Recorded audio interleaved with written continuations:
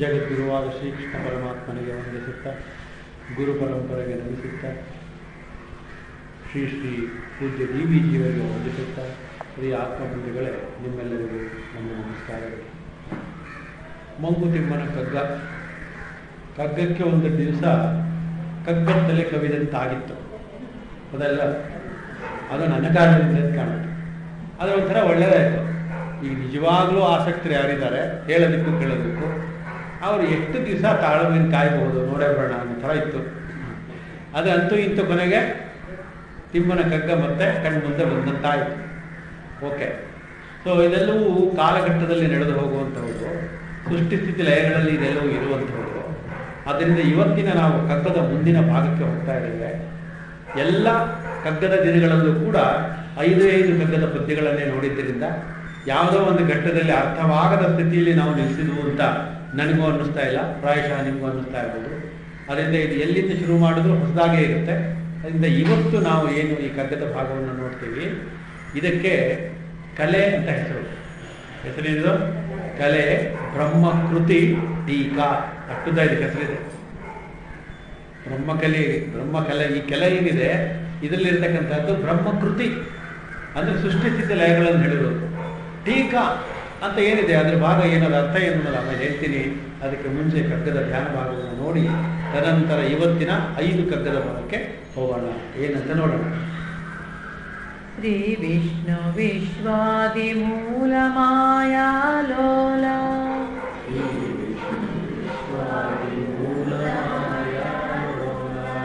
देव सर्वेश परबुम्मनिन्दुजनम्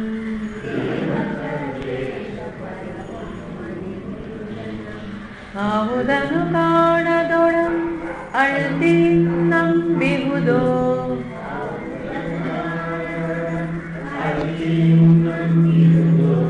ಆ ವಿಚಿತ್ರಕ್ಕೆ ನಮಿಸೋ ಮಂಕುತಿಮ್ಮ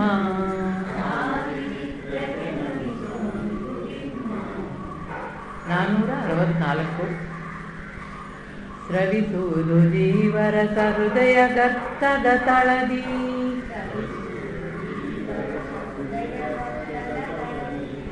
किविकारहस्य दुलिका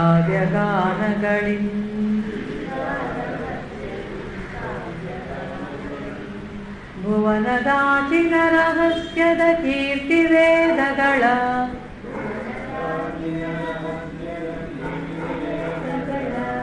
रवदिनन्दाशमतमं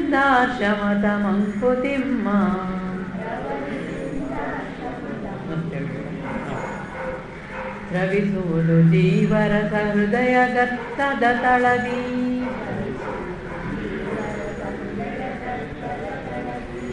ಕಿವಿಗಾರಹಸ್ಯ ದುಲಿ ಕಾವ್ಯಗಾನಗಳಿಂ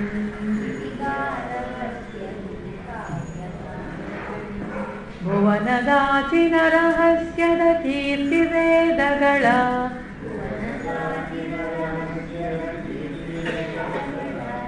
ರವದಿನೆಂದಾಶಮತ ಮಂಕುತಿಮ್ಮ.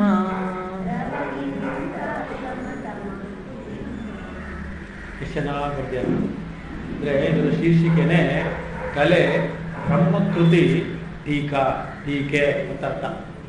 ಅಂದರೆ ಇದನ್ನ ಅಧ್ಯಾತ್ಮ ಭಾಷೆಯಲ್ಲಿ, ಪರಿಭಾಷೆಯಲ್ಲಿ ಅಧ್ಯಾರೋಪ ಅಧಿಷ್ಠಾನ ಪ್ರತೀತಿ ಅಂತ ಹೇಳ್ತೀವಿ. ಅಂದರೆ ಇಲ್ಲಿ ಮನುಷ್ಯನಾದವನು ತನ್ನ ಬಗ್ಗೆ ತಾನೇ ಹೆಮ್ಮೆ ಪಡುವಾಗ ತನ್ನ ಹೆಮ್ಮೆಗೂ ತನಗೂ ಕಾರಣವಾದ ಒಂದು ಪರತತ್ವವನ್ನು ಮರೆತು ಬಿಟ್ಟಿರುವುದನ್ನು ಜ್ಞಾಪಿಸುತ್ತಾರೆ ಪೂಜ್ಯ ಡಿ ವಿ ಜಿಯವರು ಮತ್ತೆ ಆ ಮರತದ್ದನ್ನು ಜ್ಞಾಪಿಸುತ್ತಾರೆ. ಅಂದರೆ ಎಲ್ಲದಕ್ಕೂ ಕಾರಣವಾಗಿರುವ ಒಂದಿದೆ. ಅದರ ಮುಂದೆ ನಾನು ನಾನು ಅನ್ನೋ ಯಾವುದೋ? ಏನೋ? ಎಂದಿಗೂ ದೊಡ್ಡದಾಗಲಾರದು ಅನ್ನುವುದನ್ನು ಗುರುತಿಸಿ ಹೇಳ್ತಾ ಇದ್ದಾರೆ. ಅಂದರೆ ಯಾವುದು ನಾನು ನಾನು, ನನ್ನದು, ತನ್ನತಕ್ಕಂಥ ಭಾವ ಏನಿದೆ, ಅದು ಹೋಗಿ ಬಿಡಬೇಕು ಮನುಷ್ಯನಿಗೆ. ಇರುವಾಗಲೇ ಅದರ ಪರಮಾನ ಪರಾಕಾಷ್ಠತೆಯ ಪರಮಾನ ಅಂತ ಗೊತ್ತಾಗಬೇಕು ಅನ್ನುವುದಕ್ಕೆ ಕಲೆ ಅಂತ ಪದವನ್ನು ಬಳಸಿದ್ದಾರೆ. ಕಲೆ ಅಂದ್ರೆ ಆರ್ಟ್ ಅಂತ ನಾವು ಕರಿತೀವಲ್ಲ ಅದು. ಅಂದ್ರೆ ಕೃತಿಗಾರಿಕೆ ಕೃತಿ ಚೌರ್ಯ ಅಲ್ಲ. ಕೃತಿ ಗಾರಿಕೆ. ಅಂದ್ರೆ ಏನು ಈ ಬ್ರಹ್ಮನ ಸೃಷ್ಟಿ ಏನಿದೆ, ಸಕಲ ಚರಾಚರ ವಸ್ತುಗಳನ್ನ ಸೃಷ್ಟಿಯಾಗುವುದನ್ನು ಸ್ವಲ್ಪ ಸ್ವಲ್ಪ ಗಮನಿಸಿ. ಯಾವುದೇ ಮನುಷ್ಯನ ಯಾವುದೇ ವಿಜ್ಞಾನದ ಬೆಳವಣಿಗೆಯಿಂದ ಯಾವುದನ್ನು ಏನನ್ನು ಮಾಡಿದರೂ ಅದಕ್ಕೆ ಬೇಕಾಗಿರುವ ಅವನ ಬುದ್ಧಿಮತ್ತೆಯ ಕಲೆಯನ್ನು ನಿರೂಪಿಸಿರುವುದು ಯಾರೋ? ಆ ಬ್ರಹ್ಮನೇ, ಪರಬ್ರಹ್ಮನೇ. ಏನಾದ್ರು ಒಂದು ಮಿಸೈಲ್ ಮಾಡಿದ್ವಾ? ಮಾಡಿದ ಮನುಷ್ಯ ಅಂತ ಇಟ್ಕೊಳ್ಳಿ ದೊಡ್ಡದಾದ ಮಿಸೈಲ್. ಅದು ಟೆಕ್ನಾಲಜಿ, ಅದು ಇದು ಎಲ್ಲನೂ ಅವನಿಗೆ ತಲೆಯಿಂದನೇ ಬಂದಿರೋದು. ಗೊತ್ತಾನೆ? ಈಗ ಉದಾಹರಣೆಗೆ ಕಂಪ್ಯೂಟ್ರಲ್ಲಿ ಏನೇನು ಟೆಕ್ನಾಲಜಿ ಇದೆ, ಅದನ್ನು ಯಾರು ಅದನ್ನು ಫಿಲ್ ಮಾಡಿರೋದು ಮನುಷ್ಯನೇ ತಾನೆ. ಮನುಷ್ಯನೇ ಮಾಡಿರುವುದು ಕಂಪ್ಯೂಟರ್ ತೋರಿಸಂತೆ ಹೊರತು ಸ್ವತಂತ್ರವಾಗಿ ಕಂಪ್ಯೂಟರ್ ಏನನ್ನು ಮಾಡಲಾರದು. ಅದೇ ರೀತಿ ಮನುಷ್ಯನ ಮೆದುಳು, ಮನುಷ್ಯನ ನೋಡ್ತಕ್ಕಂಥ ಸಕಲ ಸೃಷ್ಟಿಗಳು ಕೂಡ ಅವನೇನು ಮಾಡಲಾರ? ಅವನ ಆಳುಗಳೇ ಈಡಾಗಿರುವುದು ಎಲ್ಲಿಂದ ಬಂದಿದೆಯೋ ಆ ಅದು ಕಲೆ, ಕಲೆಗಾರಿಕೆ. ನಾವು ಜಗತ್ತಲ್ಲಿ ನೋಡ್ತೀವಿ, ಒಬ್ಬೊಬ್ಬನಲ್ಲಿ ಒಂದೊಂದಿದೆ. ಮಾತುಗಾರಿಕೆ ಒಬ್ಬನಿಗೆ ಕೇಳುವುದೊಬ್ಬನಿಗೆ ಹಾಡುಗಾರಿಕೆ ಒಬ್ಬನಿಗೆ. ಬೇಕಾದಷ್ಟು ಥರ ನಾವು ನೋಡ್ತೀವಿ. ಅದಲ್ವಾ? ಮಂಡತನ ಒಬ್ಬನಿಗೆ, ಹಠ ಒಬ್ಬನಿಗೆ, ಕೋಪ ಒಬ್ಬನಿಗೆ, ಕಲೆ ಒಬ್ಬನಿಗೆ ಮೋಸ ಮಾಡೋದು ಕೂಡ ಒಂದು ಕಲೆನೇ. ಅರವತ್ನಾಲ್ಕು ವಿದ್ಯೆಗಳಲ್ಲಿ ಅದು ಒಂದು. ಎಲ್ರಿಗೂ ಮೋಸ ಮಾಡೋಕ್ಕಾಗಲ್ಲ. ಹೌದಲ್ವಾ ಎಲ್ರಿಗೂ ಸಾಲ ಸಿಗದೇ ಇಲ್ಲ. ನೋಡಿ, ನಾನು ಎಷ್ಟೋ ತಿಳ್ತೀನಿ ನೀವು ಅದೆಲ್ಲ ಬೇಕಾಷ್ಟು ಇಸ್ಕೊಂಡ್ಬಿಟ್ಟು ಟೋಪಿ ಹಾಕ್ಕೊಳ್ಳೋಣ ಅಂದ್ರೆ. ಇಸ್ಕೊಳ್ಳೋಕ್ಕೆ ಯಾಕೆಂದ್ರೆ ನೀವೆಲ್ಲ ಹುಷಾರಾಗೇ ಬಿಡ್ತೀರ ತಕ್ಷಣನೇ. ಇವನಿಗೆ ಕೊಡೋ ಸೋಸ್ ಇಲ್ಲದೆ ಇರೋದ್ರಿಂದ, ಇವನಿಗೆ ದಾರ ಕೊಡೋದು ವ್ಯರ್ಥ ಹಾಕೊಂಡ್ಬಿಡ್ತಾರೆ ಅದೇ ಅರ್ಥ ಏನಂದ್ರೆ ಒಬ್ಬೊಬ್ಬರು ಒಂದೊಂದರಲ್ಲಿ ಪರಿಣಿತರಂತೆ ಕಾಣುತ್ತಾರೆ. ಹೌದಲ್ವಾ ಸೊ, ಆ ಪರಿಣಿತಿ ಪರಿಣತಿ ಏನಿದೆ? ಜನ್ಮ, ಜನ್ಮಾಂತರದಿಂದ ಜೀವಕ್ಕೆ ಕರ್ಮದಿಂದ ಬಂದಿರೋ ವಾಸನೆಯ ಬೀಜಗಳಿಂದ ಬಂದಿರುವುದೇ ಹೊರತು ಸ್ವಯಂ ಆಗಿ ಯಾವುದೂ ಇರೋದಿಲ್ಲ ಅದಕ್ಕೋಸ್ಕರ ಕಲೆ ಆರ್ಟ್ ಇವತ್ತಿನಿಂದ ನಿಮ್ಗೆ ಏನಪ್ಪ? ನಿಜವಾಗ್ಲೂ ನೀವು ಯೋಚನೆ ಮಾಡ್ಬೇಕಾದ ಏನಪ್ಪ ಅಂದ್ರೆ, ಇಡೀ ನಿಮ್ಮ ನಿಮ್ಮ ಜೀವನವನ್ನ ನೀವು ವಿಜ್ಞಾನದಂತೆ ಅಧ್ಯಯನ ಮಾಡಬೇಕು. ಅಧ್ಯಯನ ಮಾಡುವುದು ವಿಜ್ಞಾನದಂತೆ. ಆದ್ರಿಂದ ಜೀವನಕ್ಕೆ ಅಳವಡಿಸುವುದು ಕಲೆಯಂತೆ. ಅಂದ್ರೆ you have to study the whole life as a science practice as an art ಅಂತ ಅರ್ಥ. ಸೊ ನಮ್ಮಲ್ಲಿ ಇರ್ತಕ್ಕಂಥ ಗುರುತು ಮಾಡುವುದಕ್ಕೆ ನಮಗಿಂತ ಹೆಚ್ಚಿನ ಸಮರ್ಥವಾದ ಯೋಗ್ಯತೆ ಇರುವವರು ಯಾರಿರ್ತಾರೆ? ಯಾವ್ಯಾವುದೋ ಓದುವಾಗ ಹುಡುಗ ಎಸ್ ಎಲ್ ಸಿನಲ್ಲಿ ಅಥವಾ ಹಿಂದಿನ ಕ್ಲಾಸ್ಗಳಲ್ಲಿ ಒಂದೊಂದು ಥರ ಇರ್ತಾನೆ. ಇವನೇ ನಿಮ್ಮ ಜೀವನದಲ್ಲಿ ಏನೂ ಆಗೋದೇ ಇಲ್ಲ ಅಂತ ಅಂದ್ಕೊಂಡಿರ್ತೀನಿ ಬೇಕಾದ್ರೆ. ಆದ್ರೆ ಯಾವುದೋ ಒಂದು ಸ್ಟೇಜಲ್ಲಿ ಅವ್ನು ಎಲ್ಲೋ ಇದ್ದಾಗ, ತಿನ್ನು, ನಾವು ಹೀಗೆ ಅಂದ್ಕೊಂಡಿದ್ದೀವಿ ಹೀಗಾಗ್ತಾನಪ್ಪ ಅನ್ಕೋತೀವಿ. ಅಥವಾ ಎಸ್ ಎಲ್ ಸಿ ಬೆಳ್ಳಿ ಪದಕ ತಗೊಂಡು ರ್ಯಾಂಕ್ ಫಸ್ಟ್ ರ್ಯಾಂಕ್ ಬಂದಿರೋ ಹುಡುಗ, ಇವನು ಮುಂದೆ ಭಾಳ ಹಾಗಾಗ್ತಾನೆ ಹೀಗಾಗ್ತಾನೆ ನೀವು ಮಾಡ್ಕೊತಾನೆ ಇರಿ. ಅವ್ನು ಎಲ್ಲೋ ಒಂದು ಕಡೆ ಪ್ರೈಮರಿ ಸಿ ಸಿ ಎಸ್ ಮಾಡಿಕೊಂಡು, ಎಲ್ಲೋ ಒಂದು ಕಡೆ ಹೆಣ್ಣು ಅದ್ರ ಜಗತ್ತಿನಲ್ಲಿ ನಾಚಿಕೆಯಿಂದ ಯಾರಿಗೂ ತೋರಿಸಿ ಎಲ್ಲೋ ಬದುಕ್ತಾ ಇರೋದು ಕೂಡ ಕಾಣುತ್ತೆ. ಈ ವಿಚಿತ್ರ ಏನಿದೆ, ಈ ವಿಚಿತ್ರ ಜಗತ್ತೇನಿದೆ ಇಲ್ಲಾಗುವ ಪ್ರತಿಯೊಂದು ಪ್ರಸಂಗಗಳು ಕ್ಷಣ ಕ್ಷಣದ ಬಂಗುರವಾದಂಥ ಬದಲಾವಣೆಗಳು ಎಲ್ಲವನ್ನ ಇವತ್ತಿನ ಐದು ಪದ್ಯದಲ್ಲಿ ಐದರ ಪದ್ಯಗಳಲ್ಲಿ ತೋರಿಸ್ತಾರೆ. ಅಂದ್ರೆ ಇಲ್ಲಿ ಯಾವುದು ಹೆಚ್ಚು ಕಡಿಮೆ ಅಲ್ಲ. ಪ್ರತಿಯೊಂದರಲ್ಲೂ ಇರುವ ಭಗವತ್ ತತ್ವದ ಸೌಂದರ್ಯವನ್ನು ಹಿನ್ನೆಲೆಯನ್ನ ಗುರುತು ಮಾಡ್ಕೊಳ್ಳೋದು ಹೇಗೆ ಅನ್ನೋದನ್ನ ಪೂಜ್ಯ ಡಿ ವಿ ಹೇಳ್ತಾರೆ. ಅದರಿಂದ ಇದು ಜಗತ್ತು ಅಂದ್ರೆ ಏನು ಈ ಕಲೆ ಏನಿದೆ ಇದು? ಯಾವ್ದಿದು ಬ್ರಹ್ಮಕೃತಿ. ಹೌದಲ್ವಾ ಆದ್ರೆ ಬ್ರಹ್ಮಕೃತಿ ಇದೆ, ಆದ್ರೆ ಟೀಕೆ ಇದೆ. ಅಧ್ಯಾರೋಪ ಯಾವಾಗಾದ್ರೂ ನೋಡಿ ಯಾರ ಹತ್ರ ನೀವು ದೇವ್ರ ವಿಚಾರ ಅದು ಇದು ಮಾತಾಡಿದ್ರೆ ತುಂಬಾ ಜನ ಕೆಲವರು ಒಪ್ಕೊಳ್ಳಲ್ಲ ಯಾಕೆ ಒಪ್ಕೊಳ್ಳಲ್ಲ ಅಂದ್ರೆ ಅವ್ರಿಗೆ ಬುದ್ಧಿ ಇದೆ ಅಂತ ನಮಗೆ ಈ ತರ, ಈ ಇದೆ ಸೃಷ್ಟಿ ಮಾಡೋದು. ಅಂತ ಅವನ ಸೃಷ್ಟಿಯನ್ನೇ ಪ್ರಶ್ನಿಸುವ ಟೀಕೆಯನ್ನು ಮಾಡ್ತೀವಿ. ಮಾಡ್ತೀವೋ ಇಲ್ವೋ? ಯೋಚನೆ ಮಾಡಿ. ಮನುಷ್ಯನಿಗೆ ಅತ್ಯಂತ ದೊಡ್ಡದಾದ ಒಂದು ಕಲೆ, ಅದೇ ಇದು ವಿಜ್ಞಾನ ಈ ಜಗತ್ತಿನಲ್ಲಿ ಬೆಳೆಯುವುದಕ್ಕೆ ಮೂಲ ಕಾರಣ ಒಂದಿದೆ ಇಷ್ಟೊಂದು ವಿಜ್ಞಾನ ಬೆಳೆದಿದೆ ಪ್ರತಿಯೊಬ್ಬ ಮನುಷ್ಯನು ಬೆಳಗಾವಿ ಕೆಲಸ ಓಡ್ತಾನೆ, ಅದು ಇದು ಮಾಡಬೇಕು ಅಂತಾನೆ. ದುಡ್ಡು ಸಂಪಾದನೆ ಮಾಡಬೇಕು, ಮನೆ ಮಾಡಬೇಕು, ಕಾರ್ ಮಾಡಬೇಕು, ಎಲ್ಲ ಹೇಳ್ತಾ ಇದ್ದಾರಲ್ಲ ಇದಕ್ಕೆಲ್ಲ ಮೂಲವಾದ ಒಂದು ಕಾರಣ ಇದೆ. ಆ ಕಾರಣ ಏನಪ್ಪಾ ಅಂದ್ರೆ, ಪ್ರತಿಯೊಂದು ಜೀವಿಗೂ, ಮನುಷ್ಯ ಅಂತ ಏನಲ್ಲ ಜೀವಂತವಾಗಿರೋ ಪ್ರತಿಯೊಂದು ಜೀವಕ್ಕೂ ಪ್ರಾಣಿಗೂ ಜೀವ ಪ್ರಾಣಿಗೂ ಕೂಡ ಹೊಟ್ಟೆ ಇದೆ. ಕೇಳ್ಕೊಳ್ಳಿ. ಅದಲ್ವಾ ಮೊದಲು ಹೊಟ್ಟೆಯಿಂದ ಶುರುವಾಗುತ್ತೆ. ಅಕಸ್ಮಾತ್ ಯೋಚನೆ ಮಾಡಿ, ಯಾವ ಪ್ರಾಣಿಗೂ, ಮನುಷ್ಯ ಪ್ರಾಣಿಗೂ ಸೇರಿಸಿ ಹಸಿವು ಅನ್ನೋದಿಲ್ಲ ಯಾವಾಗಲೂ ತುಂಬಿದೆ ಅಂತ ಒಂದು ತಕ್ಷಣ ಯೋಚನೆ ಮಾಡಿ ನೋಡಿ. ಏನಾಗುತ್ತೆ ಒಂದು ಬಟ್ಟೆ ಮ್ಯಾನುಫ್ಯಾಕ್ಚರ್ ಮಾಡೋ ಯಾಕೆ ಮಾಡ್ತಾರೆ ಬಟ್ಟೆ? ಹೊಟ್ಟೆ ತುಂಬಿದಲ್ಲ ತಿನ್ನುವ ತೆಗೆ ಯಾಕೆ ತೆಗಿತಾರೆ? ಏನು ಎಲ್ರಿಗೂ ಹೊಟ್ಟೆ ತುಂಬಿದೆ. ಏನ್ ತಿಂದಿರಿ ಬೆಳಗ್ಗೆ? ಕೇಳಾಗೇ ಇಲ್ಲ. ಯಾಕೆ? ಸುಮ್ಮನೆ ಯೋಚನೆ ಮಾಡಿ ನೋಡಿ. ಅಸಹ್ಯ ಆಗ್ಬಿಡುತ್ತೆ ಸೃಷ್ಟಿನೇ? ಇದೆಲ್ಲ ನಮ್ಮ ಉಪನಿಷತ್ತು ಆಳದಲ್ಲಿ ಬರತಕ್ಕಂಥ ಮಾತುಗಳು. ಅದನ್ನ ಇಲ್ಲಿ ನಿಮಗೆ ಹೇಳ್ತಾ ಅಷ್ಟೇ ಸಾಧ್ಯವಾಗಿರೋದ್ರಿಂದ ಸೊ ಪ್ರತಿಯೊಂದು ಜೀವಿಯ ಪ್ರಗತಿ, ಪ್ರತಿಯೊಂದು ಜೀವಿಯ ಕಳವಳ ಪ್ರತಿಯೊಂದು ಜೀವಿಯ ಬದುಕಿನ ಆಸೆ, ಪ್ರತಿಯೊಂದು ಜೀವಿಯ ಬದುಕಿನ ಹಂಬಲ ಹಂಬಲ, ಅಥವಾ ಯಾವುದೋ ಒಂದು ಗ್ಯಾರಂಟಿ ತಲೆಯಲ್ಲಿ ಇಟ್ಕೊಂಡಿದ್ದಾರೆ ಅನ್ನೋದು ನಿಂತಿರೋದು ಅದ್ರ ಮೇಲೆ ಹಸಿವಿನ ಮೇಲೆ. ಹೌದಲ್ವಾ ಹಸಿವು ಈ ಜಗತ್ತಿನ ಎಲ್ಲ ಪ್ರಗತಿಗೆ, ಎಲ್ಲ ಬೆಳವಣಿಗೆಗೆ ವಿಜ್ಞಾನದ ಉತ್ತುಂಗಕ್ಕೆ ಹೋಗೋದಕ್ಕೆ ಕಾರಣ ಹಸಿವು. ಈ ಹಸಿವು ಅನ್ನೋದನ್ನ ಆಮೇಲೆ ಡೆವಲಪ್ ಮಾಡ್ಕೊಂಡ ಮನುಷ್ಯ. ಕೇವಲ ಹೊಟ್ಟೆ ಹಸಿವಲ್ಲ ನಮ್ಗೆ ನೋಡುವ ಹಸಿವು, ಕೇಳುವ ಹಸಿವು, ತಿನ್ನುವ ಹಸಿವು, ಮುಟ್ಟುವ ಹಸಿವು, ಇದಾದ್ಮೇಲೆ ಏನಾದ್ರು ಸಿಕ್ಕಿದ್ರೆ ಸಂಗ್ರಹಿಸುವ ಹಸಿವು. ಅದಲ್ವ ಎಲ್ಲ ಹಸಿವು ತುಂಬ ಇದಾಗೋಯ್ತು ಮೇಲೆ ಜಾಸ್ತಿ ಇದೆ. ಒಂದೇ ಬಿಡೋಣ ಅನ್ನೋ ಹಸಿವು. ಎಲ್ಲ ಕೂಡ ಹಸಿವಾಗಿ, ಅವನನ್ನು ತೀವ್ರವಾಗಿ ವಿಕೃತಿಗೆ ಹೋಗುವಷ್ಟು ಮಟ್ಟಿಗೆ ಅವನನ್ನ ಈ ಕಲೆ ಏನಿದೆ, ಅವನ ಜೀವನದಲ್ಲಿ ಇರತಕ್ಕಂಥ ಜ್ಞಾನ ಏನಿದೆ, ಅವನನ್ನು ಬೆಳೆಸಿಬಿಡುತ್ತೆ. ಅದೇ ನಾವು ಇವತ್ತು ಜಗತ್ತಲ್ಲಿ ನೋಡ್ತಾ ಇರೋದು. ಎಷ್ಟೆಷ್ಟು ಡಿಫರೆನ್ಸ್ ನೋಡ್ತಾ ಇದ್ದೀವಿ ಎಲ್ಲ ಕ್ಷೇತ್ರಗಳಲ್ಲೂ ಬಹಳ ಡೆವಲಪ್ಮೆಂಟ್ ನೋಡ್ತಾ ಇದ್ದೀವಿ ಇದೆಲ್ಲ ಡೆವಲಪ್ಮೆಂಟ್ ಆಗಿರೋದಕ್ಕೆ ಕಾರಣ ಮನುಷ್ಯನಲ್ಲಿರ್ತಕ್ಕಂಥ ಜ್ಞಾನ ಶಕ್ತಿ. ಈ ಜ್ಞಾನ ಶಕ್ತಿಯ ಹಿಂದೆ ಇರತಕ್ಕಂಥ ಕಾಣದ ಕೈಯೊಂದಿದೆ, ಪವಾಡ ಒಂದಿದೆ ಅದನ್ನೆಲ್ಲ ಮರಿತಾ ಇದ್ದೀವಿ. ನಾನು ಮಾಡಿದೆ, ನಾನು ನೋಡಿದೆ, ನಾನು ತಿಂದೆ ನಾ ತಿಂದೆ ಅಂತ ಅನ್ನುವಾಗ ನಾನು ಅನ್ನುವ ಪರತತ್ವವನ್ನು ಮರೆತು ಈ ಕಲೆಯನ್ನೇ ಬಂಡವಾಳವಾಗಿ ಮಾಡಿಕೊಂಡ ಮಾನವ ಲೋಕ ತನ್ನನ್ನ ತಾನು ವಿಜೃಂಭಿಸುತ್ತಾ, ಈ ಅಜ್ಞಾನದ ಬೆಳಕಿನಲ್ಲಿ ಬೇರೆಯವರನ್ನ ಬೇರೆ ಕಡೆಗೆ ತಳ್ಳುತ್ತಾ, ಎಳೆಯುತ್ತಾ ಮಾಡುವುದನ್ನ ಪ್ರತಿ ವಿಚಾರದಲ್ಲೂ ನೋಡ್ತೀವಿ. ನೋಡ್ತೀರಾ ಇಲ್ವಾ? ಒಂದು ಅಕ್ಕಿ ತಗೊಳ್ಳೋದ್ರಿಂದ ಹೇಳುದು ಅಂತ ತುಂಬಾ ನಿಮ್ಗೆ ಗೊತ್ತಾಗುತ್ತೆ ದೊಡ್ಡ ದೊಡ್ಡ ಮಾಲ್ಗಳು ಅಲ್ಲೋದ್ರೆ ದೊಡ್ಡ ದೊಡ್ಡ ಅಂಗಡಿಗಳು, ಕಣ್ಣು ಕೋರೈಸತಕ್ಕಂಥ ಬೆಳಕು, ಅಲ್ಲಿರ್ತಕ್ಕಂಥ ಜನಗಳು, ಅವ್ರ ಮಾತಿನಲ್ಲಿ ವರ್ಣನೆ ಮಾಡೋದು ಅವ್ರ ಪದಾರ್ಥವನ್ನ ಎಲ್ಲವನ್ನ ನೋಡಿ ಮೋಹಗೊಳ್ಳುವ ನೀವು. ಅಂದ್ರೆ ಸಾಮಾನ್ಯ ಮನುಷ್ಯ. ಈ ಸಾಮಾನ್ಯ ಮನುಷ್ಯನ ಬದುಕಿನಲ್ಲಿ ಇಷ್ಟೊಂದು ಚಿತ್ರ ವಿಚಿತ್ರವಾದ ಈ ಜಗತ್ತಿನ ಏನು ದೃಶ್ಯ ಇದೆ, ಅವರನ್ನು ಕಣ್ಣು ಕೋರೈಸುತ್ತದೆ ಹಂಬಲಿಸುತ್ತದೆ, ಪೀಡಿಸುತ್ತದೆ, ಪ್ರಾಣ ತೆಗೆಯುತ್ತದೆ. ಅದಲ್ವಾ? ಹೂನೆ ಅಪರೂಪಕ್ಕೆ ಬನ್ನಿ ಎಷ್ಟು ಹೂಂತ ಇದ್ರೆ ಅವರೇ ಶಿಕ್ಷೆ ಸಾಲದು ಅಂತ. ಅಂದ್ರೆ ಇಷ್ಟು ದಿವಸ ಬಿಟ್ಟಿದ್ದೆ ತಪ್ಪಾಯಿತು ಅಂತ. ಅದೆಲ್ಲ ಅದಂತ ಅಂತಹ ಒಂದು ಜೀವನ ಕಲೆ ಇದೆ. ಜೀವನ ಕಲೆ ಅಂದರೆ ಜೀವಾತ್ಮನ ಬದುಕುವಿಕೆಯ ರೀತಿ. ಬದುಕುವ ರೀತಿಯನ್ನು ಕಲೆ ಅಂತ ಕರೆದಿದ್ದಾರೆ ಇಟ್ ಇಸ್ ಸೊ ಆ ಕಲೆ ಯಾರಿಗೆ ಗೊತ್ತಿದೆ, ಅವರು ಇಹ ಬರಗಳಲ್ಲಿ ಮಿತ್ರ ವೃಂದಗಳಲ್ಲಿ, ಬದುಕಿನ ಬೇರೆ ಪ್ರಾಕಾರಗಳಲ್ಲಿ, ಸಂಬಂಧಗಳಲ್ಲಿ, ಯಾವ್ಯಾವ್ದನ್ನು ಹೇಗೆ, ಯಾವಾಗ ಯಾವಾಗ ಏನೇನು ಮಾಡಬೇಕೋ ಅದನ್ನೇ ಅವನು ಮಾಡಲು, ತಿಳಿಯಲು, ಅನುಭವಿಸಲು ಅತ್ಯಂತ ಸಮರ್ಥನಾಗಿರುತ್ತಾನೆ. ಏಕೆಂದರೆ ಅಂತಹ ತಿಳುವಳಿಕೆಯುಳ್ಳ ಮನುಷ್ಯನ ಮೌನದಲ್ಲೂ ಅವನಿಗೊಂದು ಆನಂದದ ಲಾಭ ಇದೆ. ಅವನಿಗೆ ಅದರಲ್ಲೊಂದು ಬದುಕಿನ ಲಾಭದ ವ್ಯಾಪಾರ ಇದೆ. ಅದೊಂದು ಬದುಕಿನ ಅಂತಸ್ತಿನ ಪ್ರತಿ ಸಂಪಾದನೆಯೂ ಅವನಿಗಿದೆ. ಗೊತ್ತಾಗಲ್ಲ, ಬೇರೆಯವ್ರಿಗೆ ಗೊತ್ತಾಗುತ್ತೇನಿಲ್ಲ ಸೊ ಇದೆಲ್ಲವೂ ಸ್ತರದಲ್ಲಿ ನಮಗಿರುವ ಜ್ಞಾನದ ಅಭಾವವೇ ಹೊರತು ಸೊ ಪ್ರಭಾವವಿರುವ ಈ ಜ್ಞಾನಿ ಏನಿದ್ದಾನೆ? ಅಂದ್ರೆ ಪ್ರತಿಯೊಬ್ಬ ಮನುಷ್ಯನು ಜ್ಞಾನಿನೇ. ಆದರೆ ಅದು ನಿತ್ಯ ನಿರಂತರ ಎಚ್ಚರ ಏನಿದೆ? ಅದರ ಬಗ್ಗೆ ಡಿ ವಿ ಹೇಳ್ತಾ ಇದ್ದಾರೆ. ಈ ಜಗತ್ತಿನಲ್ಲಾಗುವ ನಮ್ಮ ಎಲ್ಲ ಇಂದ್ರಿಯ ಅನುಭವಗಳು ಕೂಡ ಹೊರಗಡೆ ಯಾವುದೇ ಪದಾರ್ಥದಲ್ಲಿ ಇರುವುದಿಲ್ಲ. ಹೌದಲ್ವಾ ಯಾಕಿರುವುದಿಲ್ಲ ಏಕೆಂದರೆ ಅವೆಲ್ಲವೂ ಜಡ ಎಕ್ಸಾಕ್ಟ್ಲಿ ಹೌದಲ್ವಾ? ಜಡವನ್ನು ಚೇತನವಾಗಿ ನೋಡುವ ಜಡದ ಜೊತೆ ಸಂಭ್ರಮಿಸಿ ದಾಂಪತ್ಯದ ಲಗ್ನ ಮಾಡಿಕೊಳ್ಳುವ ಈ ಜೀವ ಭಾವವನ್ನ ಮೊದಲಿಂದಲೂ ಅಧ್ಯಯನ ಮಾಡ್ಕೊಂಡು ಬಂದ್ರೆ ನಿಮ್ಗೆ ಗೊತ್ತಿರುತ್ತೆ. ಕೆಲವೆಲ್ಲ ಕೇಳಿರ್ತೀರ. ಆತ್ಮವೇ ದೇಹದ ದಸೆಯಿಂದ ಜೀವ ಎನಿಸಿಕೊಳ್ಳುತ್ತದೆ. ಜೀವವೇ ದೇಹದ ದಸೆಯಿಂದ ಸಂಸಾರಿ ಎನಿಸಿಕೊಳ್ಳುತ್ತದೆ.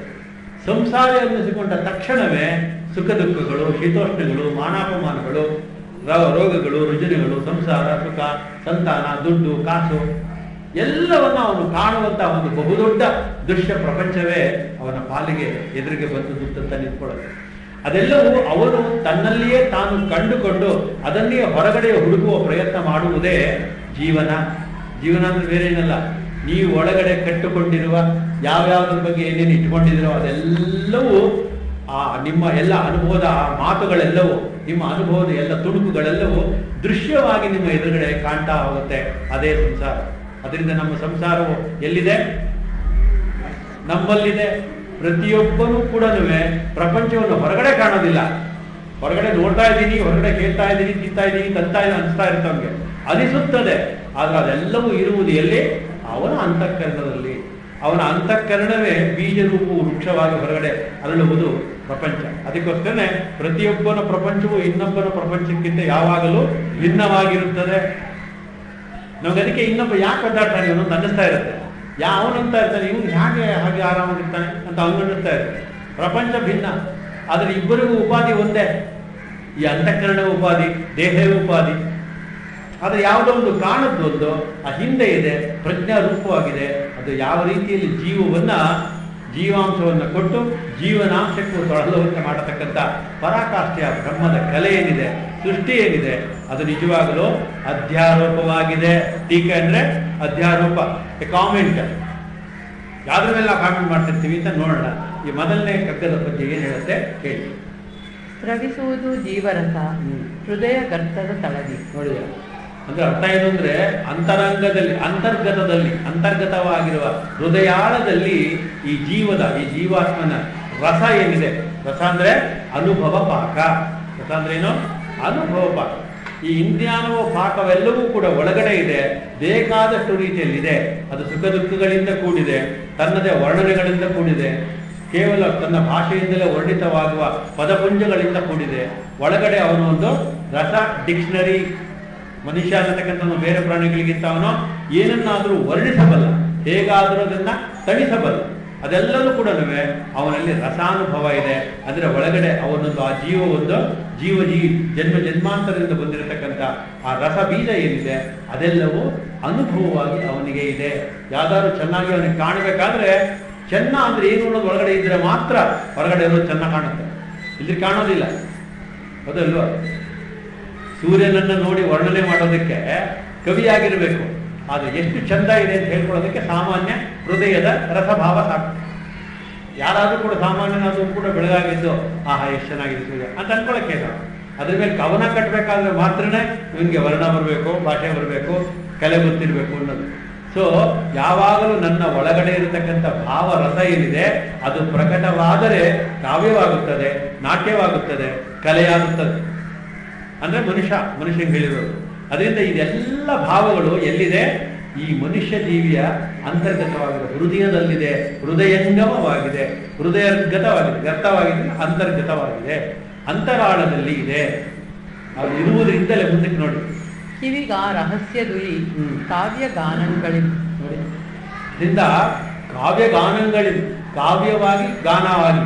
ಕಾವ್ಯ ಆಗೋದು ಅಂದ್ರೆ ಅಲ್ಲಿರ್ತಕ್ಕಂಥದ್ದನ್ನ ರಥಮಟ್ಟದಲ್ಲಿ ಅದನ್ನ ಕವಿಯಂತೆ ವರ್ಣಿಸತಕ್ಕಂಥ ಪದಪುಂಜಗಳು. ಕೇವಲ ಅದನ್ನ ಕಾವ್ಯ ಬರೆದ್ಬಿಟ್ರಾಯ್ತೆ ಉದಾಹರಣೆ ನೋಡಿ, ಕುವೆಂಪು ಅವರು ದಾರಾ ಬೇಂದ್ರೆ ಅವರು, ಡಿ ವಿ ಜಿಯವರು ಶಿವರುದ್ರಪ್ಪನವರು, ಇವರು ಸರ್ವಜ್ಞ ಯಾರು ನೋಡಿ, ಇವರೆಲ್ಲರೂ ಕವಿಗಳೇ, ದೊಡ್ಡ ದೊಡ್ಡ ಕವಿಗಳು, ಹೌದಲ್ವಾ?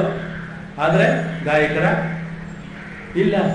ಅವ್ರಿಗೆ ಬರೆಯಕ್ ಬರುತ್ತೆ. ಆಡಕ್ಕೆ ಬರಲ್ಲ.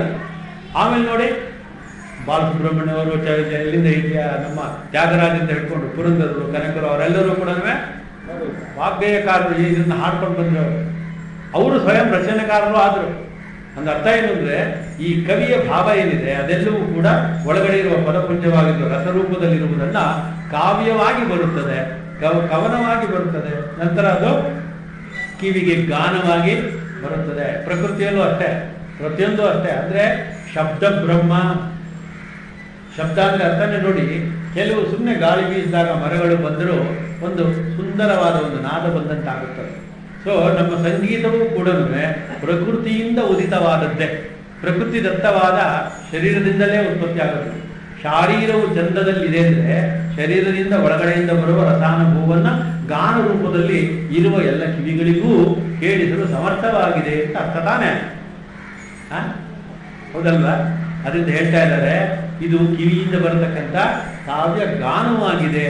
ಅಂದ್ರೆ ಇಡೀ ಈ ಜೀವನ ಏನಿದೆ, ಜೀವನ ಗಾಥೆ ಏನಿದೆ, ಈ ಜೀವಾತ್ಮನ ಏನು ಪ್ರಯಾಣ ಇದೆ, ಇದು ಒಂದು ಸುಂದರವಾದ ಕಾವ್ಯವಾಗಿದೆ.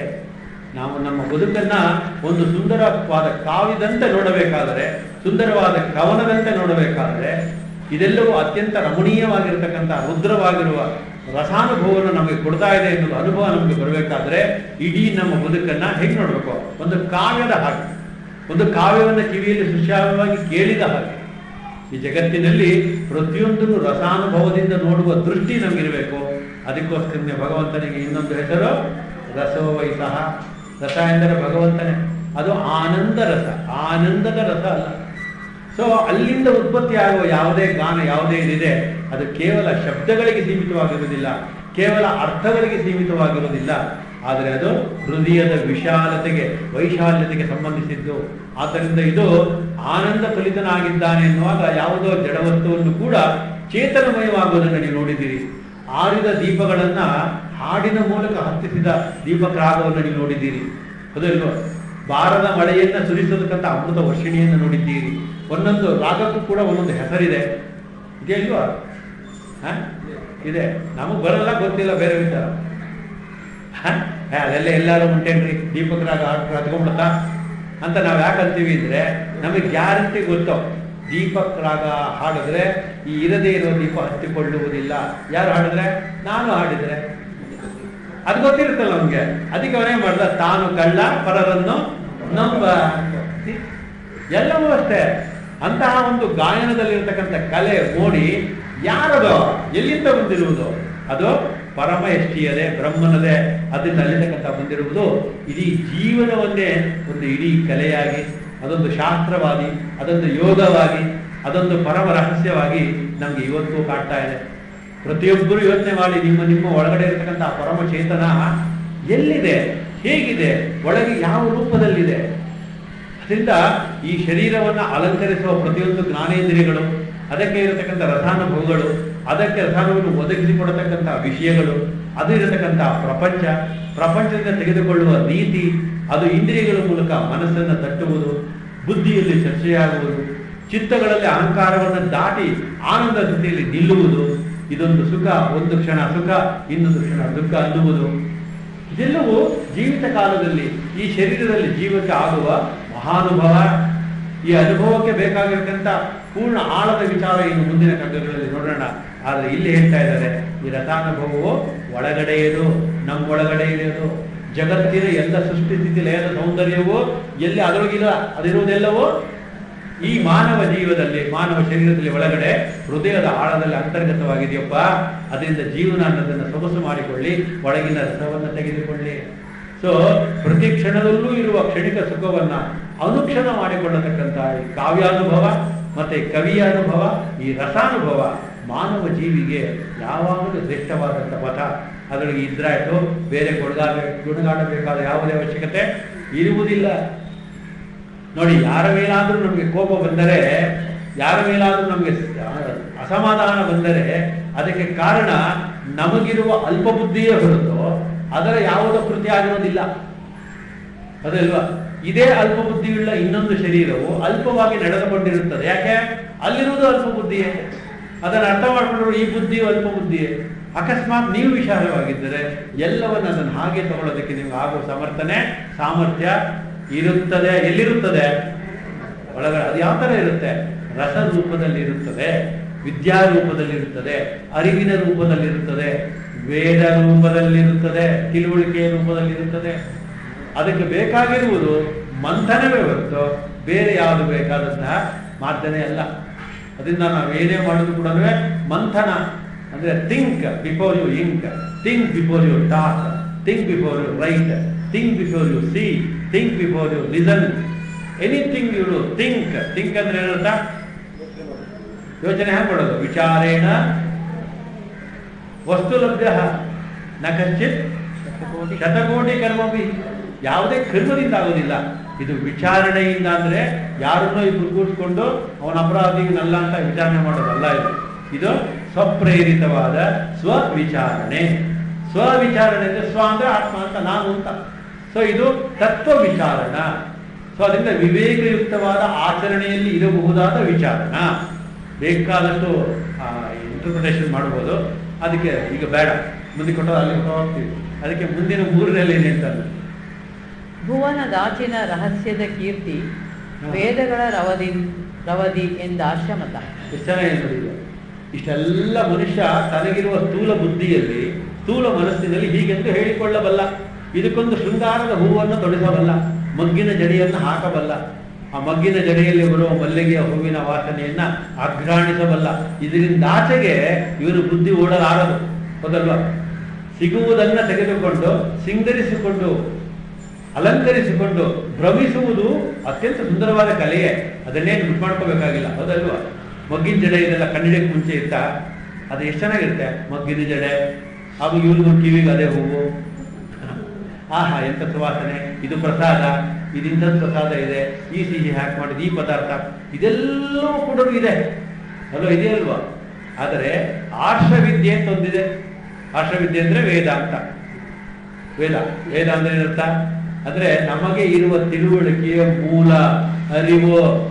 ಅರಿವಿನ ಸ್ವರೂಪವೇ ಈ ಮಾನವ ಜೀವಿ. ಅರಿವಿನ ಸ್ವರೂಪ ಇರೋ ಈ ಸ್ವರೂಪದ ಅರಿವೇ ಮೂಲದಲ್ಲಿರುವ ಅವನ ಅಸ್ತಿತ್ವ. ಇದೆಲ್ಲ ಕಷ್ಟ ಅರ್ಥ ಆಗೋದು. ಆದ್ರೂ ನಾ ಹೇಳಲೇಬೇಕಿಲ್ಲ ಇದನ್ನ ಅರ್ಥ ಆಗ್ಬೇಕು ನಿಧಾನಕ್ಕೆ ನಾನು ಯಾರು ಅವನ್ನ ಡಿಸ್ಕಸ್ ಮಾಡ್ಬೋದು. ಸೊ ಅರಿವಿನ ನೆಲೆ ಯಾರು? ನಾನು. ನಾನು ನಾನು ಅನ್ನೋ ತತ್ವ. ನಾನು ನಾನು ಅನ್ನೋದಕ್ಕೆ ಕಿವಿ, ಕಣ್ಣು, ಮೂಗುಗಳಿಲ್ಲ. ಹುಟ್ಟು ಸಾವುಗಳಿಲ್ಲ. ಅದು ಪರಮ ಚೇತನ ವಿಶುದ್ಧ ಸತ್ವ. ಅದಲ್ವ ಸತ್ವಂ ವಿಶುದ್ಧಂ ಜಲವತ್ತಾಪಿ ತಾಭ್ಯಾಂ ಮಿಲಿತ್ವ ತರುಣಾಯ ಕಲ್ಪತೆ. ಇಲ್ಲೇ ಬೇಕಾಸ್ತಿ ಬೇಕಂತ ಹೇಳ್ತಾ ಇರ್ತೀನಿ. ಯಾಕೆ? ನನಗೆ ಮರಿದೆ ಇಲ್ಲಿ. ಅದರಿಂದ ಇಲ್ಲಿರತಕ್ಕಂಥ ವಿಶುದ್ಧ ಆಗಿರೋ ಚೈತನ್ಯ ಇದೆ. ಅದು ಜ್ಞಾನ ಸ್ವರೂಪ. ಅಂತ ಅರ್ಥ ಏನು? ಜ್ಞಾನವಾಗಿ ಪ್ರಕಟವಾಗುತ್ತದೆ. ಆದರೆ ತನ್ನಷ್ಟಕ್ಕೆ ತಾನೇ ಇರುವಾಗ ಅಸ್ತಿ ಕಶ್ಚಿತ್ ಸ್ವಯಂ ತಿಷ್ಠತಿ ಅಹಂ ಪ್ರತ್ಯಯ ಲಂಬನಃ. ನಾನು ನಾನು ಅಂತ ಹೊರಗಡೆ ವಿಜೃಂಭಿಸುವ ಏನೇನು ಇದೆ? ಗಿಡಮರಿಯ ಸೃಷ್ಟಿಯಲ್ಲಿರುವುದೆಲ್ಲ ನಾನು ಸೃಷ್ಟಿ, ನಾನು ಸ್ಥಿತಿ, ನಾನು ಲಯ ಅಂತ ಹೇಳ್ತಾ ಇದೆ. ಅದರ ನಾನು ಯಾವುದೋ? ಅದು ಇದಾವುದರಿಂದಲೂ ಸೃಷ್ಟಿಸಲ್ಪಟ್ಟದ್ದಲ್ಲ. ಅದರಿಂದ ಇವೆಲ್ಲವೂ ಸೃಷ್ಟಿಸಲ್ಪಟ್ಟದ್ದು, ಸ್ಥಿತಿಯಲ್ಲಿರುವುದು ಮತ್ತು ಲಯವಾಗುವುದು.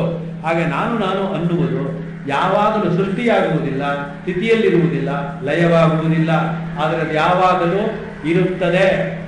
ಅಸ್ತಿ ಕಚ್ಚಿ ಸ್ವಯಂ ತಿಷ್ಟತಿ. ಯಾವಾಗಲೂ ಇರುವಂತ, ಯಾವಾಗಲೂ ಒಂದೇ ತರ ಇರುವಂತ ಯಾವುದಿದೆಯೋ ಅದು ಸತ್ವ, ಅದು ಸತ್ಯ, ಸದ್ವಸ್ತು. ಅದಲ್ವಾ ಅದ ಅರ್ಥ ಏನು? ಸದ್ವಸ್ತು ಅಂತ ಯಾವುದನ್ನ ನೀವು ಕಾಣಬೇಕಾದ್ರೆ ನಿಮ್ಗೊಂದು ಹಿಂಟು. ನೀವೆಲ್ಲ ತುಂಬ ಏನು ಚರ್ಚೆ ಮಾಡಕ್ಕೆ ಹೋಗ್ಲೇಬೇಡಿ ಯಾರ ಹತ್ರ ನೀವೇ ಅನ್ಕೊಳ್ಳಿ ಸತ್ಯ ಎಂದರೆ ಏನು ಅಂದರೆ, ಯಾವುದು ನಿತ್ಯವೋ, ಯಾವುದು ನಿರಂತರವೋ, ಅದು ಮಾತ್ರ ಸತ್ಯ. ಮಿಕ್ಕಿದ್ದೆಲ್ಲವೋ ನಿತ್ಯ, ಅಸತ್ಯ ಅಂತ ನಿತ್ಯ. ಹಾಗಾದ್ರೆ ನೀವೇ ಯೋಚನೆ ಮಾಡಿ ಒಂದು ಮೂಲಲ್ಲಿ ಕೂತ್ಕೊಂಡು ಒಂದು ದಿವಸ. ಯಾವುದಕ್ಕೆ ನಿತ್ಯತ್ವ ಇದೆ, ಯಾವುದಕ್ಕೆ ನಿರಂತರತ್ವ ಇದೆ? ಈ ನಿರಂತರತ್ವ, ನಿತ್ಯತ್ವ ಯಾವುದಕ್ಕಿದೆಯೋ, ಅದು ಮಾತ್ರವೇ ಸತ್ಯ. ಈ ಜಗತ್ತಲ್ಲಿ ನೋಡ್ಕೊಂಬನ್ನಿ ಸೃಷ್ಟಿಯಲ್ಲಿ ಎಲ್ಲಿಂದ ಶುರು ಮಾಡ್ಬೇಕು ನೀವು? ಶರೀರದಿಂದ ಶುರು ಮಾಡಿ, ಇದು ಸತ್ಯವೋ? ಸತ್ಯವಾದ್ರೆ ಇದಕ್ಕೆ ನಿತ್ಯತ್ವ ಇದೆಯೋ? ನಿರಂತರತ್ವ ಇದೆಯೋ? ಎರಡು ಕ್ವಾಲಿಟಿ ಇಲ್ಲ. ಎರಡು ಕ್ವಾಲಿಟಿ ಇಲ್ಲೇ ಇದ್ಮೇಲೆ ಇದು ಸತ್ಯವಾಗಲಾರದು. ಬಿಸಾಕ್ಬಿಡಿ? ಇದು ಸತ್ಯವಾಗಲಾರದು ಎನ್ನುವ ಜ್ಞಾನಕ್ಕೆ ನಿತ್ಯತ್ವ ಇದೆ. ಹೌದಲ್ವ ಈ ಜಗತ್ತಲ್ಲಿ ಏನೇನು ಸೃಷ್ಟಿ ಸ್ಥಿತಿ ಲಯ ಇದೆ ಇದು ಯಾವುದೂ ಕೂಡ ಎಂದಿಗೂ ನಿತ್ಯತ್ವ ಇಲ್ಲ ಅದರಲ್ಲಿ. ಎಂದಿಗೂ ನಿರಂತರತ್ವ ಇಲ್ಲ, ಅಂದ್ರೆ ಕಂಟಿನ್ಯೂಟಿ ಇಲ್ಲ, ಬದಲಾಗ್ತಾ ಇರುತ್ತೆ ಅಂತ ಅರ್ಥ. ಹೌದಲ್ವಾ ಹೌದು ಅಂತ ಅದು ಗ್ಯಾರಂಟಿ ಆಗುತ್ತಲ್ಲ. ಆ ಜ್ಞಾನಕ್ಕೆ ಎಂದೆಂದಿಗೂ ನಿತ್ಯತ್ವ ಇದೆ, ನಿರಂತರತ್ವ ಇದೆ. ಹಾಗಾದ್ರೆ ಜ್ಞಾನವೇ ಸತ್ಯ. ಹೌದಾ? ಪುಣ್ಯ. ಆ ಜ್ಞಾನವೇ ಜ್ಞಾನ. ಆ ನಾನು ಅನ್ನುವುದು ಸತ್ಯ. ಸತ್ಯಂ ಜ್ಞಾನಂ ಅನಂತಂ ಬ್ರಹ್ಮ. ಎಷ್ಟು ಸುಲಭ ಅಲ್ವಾ? ಹೂ ಅಂತೀರ. ಆಮೇಲೆ ಅದ್ಯಾಕೋ ಹೂ ಅಂತ ತಿರ್ಗಾ ಅಂತೀರ. ಅದಲ್ವಾ ನಮ್ಗೆ ಹೂ ಅನ್ನೋದು ಗೊತ್ತಿದೆ. ನಮ್ಗೆ ಏನಾಗಿದೆ ಹೂ ಹೂ ಹೂ ತಂದು ಒಂದು ಒಂದು ಎರಡು ಸತಿ ಹೂನದ ಅಭ್ಯಾಸ. ಹೂ ಹೂ ಅಂದ್ರೆ ಇಲ್ಲ ಅಂತ ಅದಲ್ವಾ ಸೊ ಇಲ್ಲ ಅನ್ನುವುದು ಎಂದಿಗೂ ಇರುವುದಿಲ್ಲ. ಇದೆ ಅನ್ನುವುದು ಎಂದೆಂದಿಗೂ ಇಲ್ಲದೆ ಇರುವುದಿಲ್ಲ. ಆ ಥರ ಮಾಡ್ಕೋಬೇಕು. ಅದರಿಂದ ಇಲ್ಲಿ ಹೇಳ್ತಾ ಇದ್ದಾರೆ. ಮೂರನೇ ಲೈನಲ್ಲಿ ಹೇಳ್ತಾರೆ ಭುವನದಾಚಿನ ರಹಸ್ಯದ ಕೀರ್ತಿ. ಭುವನದಾಚಿನ ಅಂದ್ರೆ ಸೃಷ್ಟಯಾಚಯ ಸ್ಥಿತಿಯಾಚಯ ಲಯದಾಚಯ. ಈ ಲೋಕದಾಚಯ ಲೋಕ ಅಂದ್ರೆ ಅಖಿಲ ಅಂಡಗೋಡಿ ಬ್ರಹ್ಮಾಂಡ ಲೋಕದಾಚಯ ಆ ಥರ ನೀವು ವಿಸ್ತಾರ ಮಾಡ್ಕೋಬೇಕು. ಅದರ ಆಚೆಯ ವಿಚಾರ ಏನಿದೆ ಸೃಷ್ಟಿಗೆ ಮೊದಲಿನದು. ಅಂದ್ರೆ ಫಾರ್ಮುಲಾ ಅದಿದೆಯಲ್ಲ ಅದು? ಇಂಟೆಲೆಕ್ಚುಯಲ್ ಫಾರ್ಮುಲಾ ಇದೆಯಲ್ಲ. ಅದು ಏನಾಗಿದೆ ಅದು? ರಹಸ್ಯದ ಕೀರ್ತಿ ವೇದಗಳ ರವದಿನಿಂದ ಆರ್ಷಮತ ಅದೊಂದು ಅತ್ಯಂತ ರಹಸ್ಯ. ಯಾವುದರಿಂದ ಎಲ್ಲವೂ ಸೃಷ್ಟಿಯಾಯಿತು ಯಾವುದರಿಂದ ಎಲ್ಲವೂ ಅದರಲ್ಲಿದೆ? ಯಾವುದರಿಂದ ಅದರೊಳಗಡೆ ಲಯವಾಗುತ್ತದೆ ಅನ್ನುವುದು ಪರಮ ರಹಸ್ಯ, ಸೃಷ್ಟಿ ರಹಸ್ಯ, ಸ್ಥಿತಿಯ ರಹಸ್ಯ, ಲಯದ ರಹಸ್ಯ. ಆದರೆ ಅದೆಲ್ಲ ರಹಸ್ಯಗಳು ಅಡಗಿರತಕ್ಕಂಥ ಅರಿವುನ ಪೂರ್ಣ ಗ್ರಂಥ ಯಾವುದು? ವೇದ. ವೇದ ಎಂದರೆ ಅರಿವು. ತಿಳುವಳಿಕೆ ಅರಿವು ಅಂದರೆ ಯಾವುದರಲ್ಲೂ ಅರಿವಲ್ಲ. ಅದು ಕೇವಲ ಕೇವಲ ಅಖಂಡ ಚಿನ್ ಮಾತ್ರ ಇಲ್ಲಿ ವೇದ. ಅಖಂಡವಾಗಿದೆ. ಚಿನ್ ಮಾತ್ರವಾಗಿದೆ. ಬೇರೆ ಯಾವ್ದು? ಯಾವುದೋ ವಿಷಯಕ್ಕೆ ಸಂಬಂಧಪಟ್ಟಿದ್ದಲ್ಲ ಅದು. ಅದು ತನ್ನಷ್ಟಕ್ಕೆ ತಾನಿರುವ ಪ್ಯೂರ್ ಜ್ಞಾನ. ಜ್ಞಾನದಲ್ಲಿ ಎಲ್ಲವೂ ಇದೆ. ನೋಡಿ, ನೀವು ಜ್ಞಾನ ಅನ್ಕೊಳ್ಳಿ ಉದಾಹರಣೆಗೆ. ನೀವು ಜ್ಞಾನ, ನಿಮ್ಮಲ್ಲಿ ಏನೇನಿದೆ ನೋಡೋಣ. ನಾನು ಜ್ಞಾನವಾಗಿದ್ದೇನೆ, ನನ್ನ ಜ್ಞಾನದಲ್ಲಿ ಈ ಶರೀರವೂ ಇದೆ. ಹೌದಲ್ವ ನನ್ನ ಜ್ಞಾನದಲ್ಲಿ ಅಹಂಕಾರ, ಈ ಶರೀರವೇ ನಾನು ಅನ್ನೋದು ಅಹಂಕಾರ ಇದೆ. ನನ್ನ ಜ್ಞಾನದಲ್ಲಿ ಈ ಶರೀರದಲ್ಲಿರ್ತಕ್ಕಂಥ ಚಿತ್ತ, ನಾನು, ನನ್ನದು ನನ್ನದು ಇದೆ ನಾನು ನನ್ನದು ಇರುವುದೆಲ್ಲಿ? ಅರಿವಿನಲ್ಲಿ, ಜ್ಞಾನದಲ್ಲಿ. ನಾನು ಆ ಜ್ಞಾನವೇ ಹೊರತು ಅದರ ಅರಿವಿನಲ್ಲಿರುವ ಈ ಬಿದ್ದು ಹೋಗುವ ಇದಾವುದು ಆಗಿರಲಾರದು. ಸೊ ಇದೆಲ್ಲವೂ ನನ್ನ ಪ್ರಾಕಟ್ಯಕ್ಕೆ ಕಾರಣವಾಗಿರುವ ಮಾಧ್ಯಮವಾಗಿದೆ ಅಧಿಷ್ಠಾನವಾಗಿದೆ. ಇದರಿಂದ ಆಚೆ ಬರುವುದೆಲ್ಲವೂ ಪ್ರತೀತಿ. ಅದೆಲ್ಲೋ ಅದರಿಂದ ಕೊನೆಯಲ್ಲಿ ಏನು ಹೇಳಿದ್ರು? ವೇದಗಳ ರವದಿನೆಂದ ಆಶ್ರಮ ವೇದಗಳ ಅದೇ ಇದು ವೇದಗಳು ಹೇಳ್ತಕ್ಕಂಥ ಮಾತಾಗಿದೆ. ವೇದಗಳಲ್ಲಿ ಇರುವ ಘೋಷಣೆಯಾಗಿದೆ. ವೇದ ಘೋಷಣೆಯಿರೋದು ಇದು ಅತ್ಯಂತ ಪರಮ ರಹಸ್ಯ ಅಂತ ವೇದಗಳು ಹೇಳಿದೆ. ಮುಂದಿನ ಸ್ವರರಾಗ ಗೀತಿಗಳು ನಾಟ್ಯಾಭಿನೀತಿಗಳು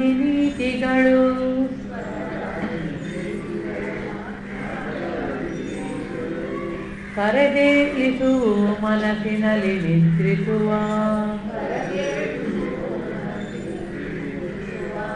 ಪರಿಪರಿಯ ಭಾವಗಳ ಗೂಢ ಸ್ವಭಾವಗಳ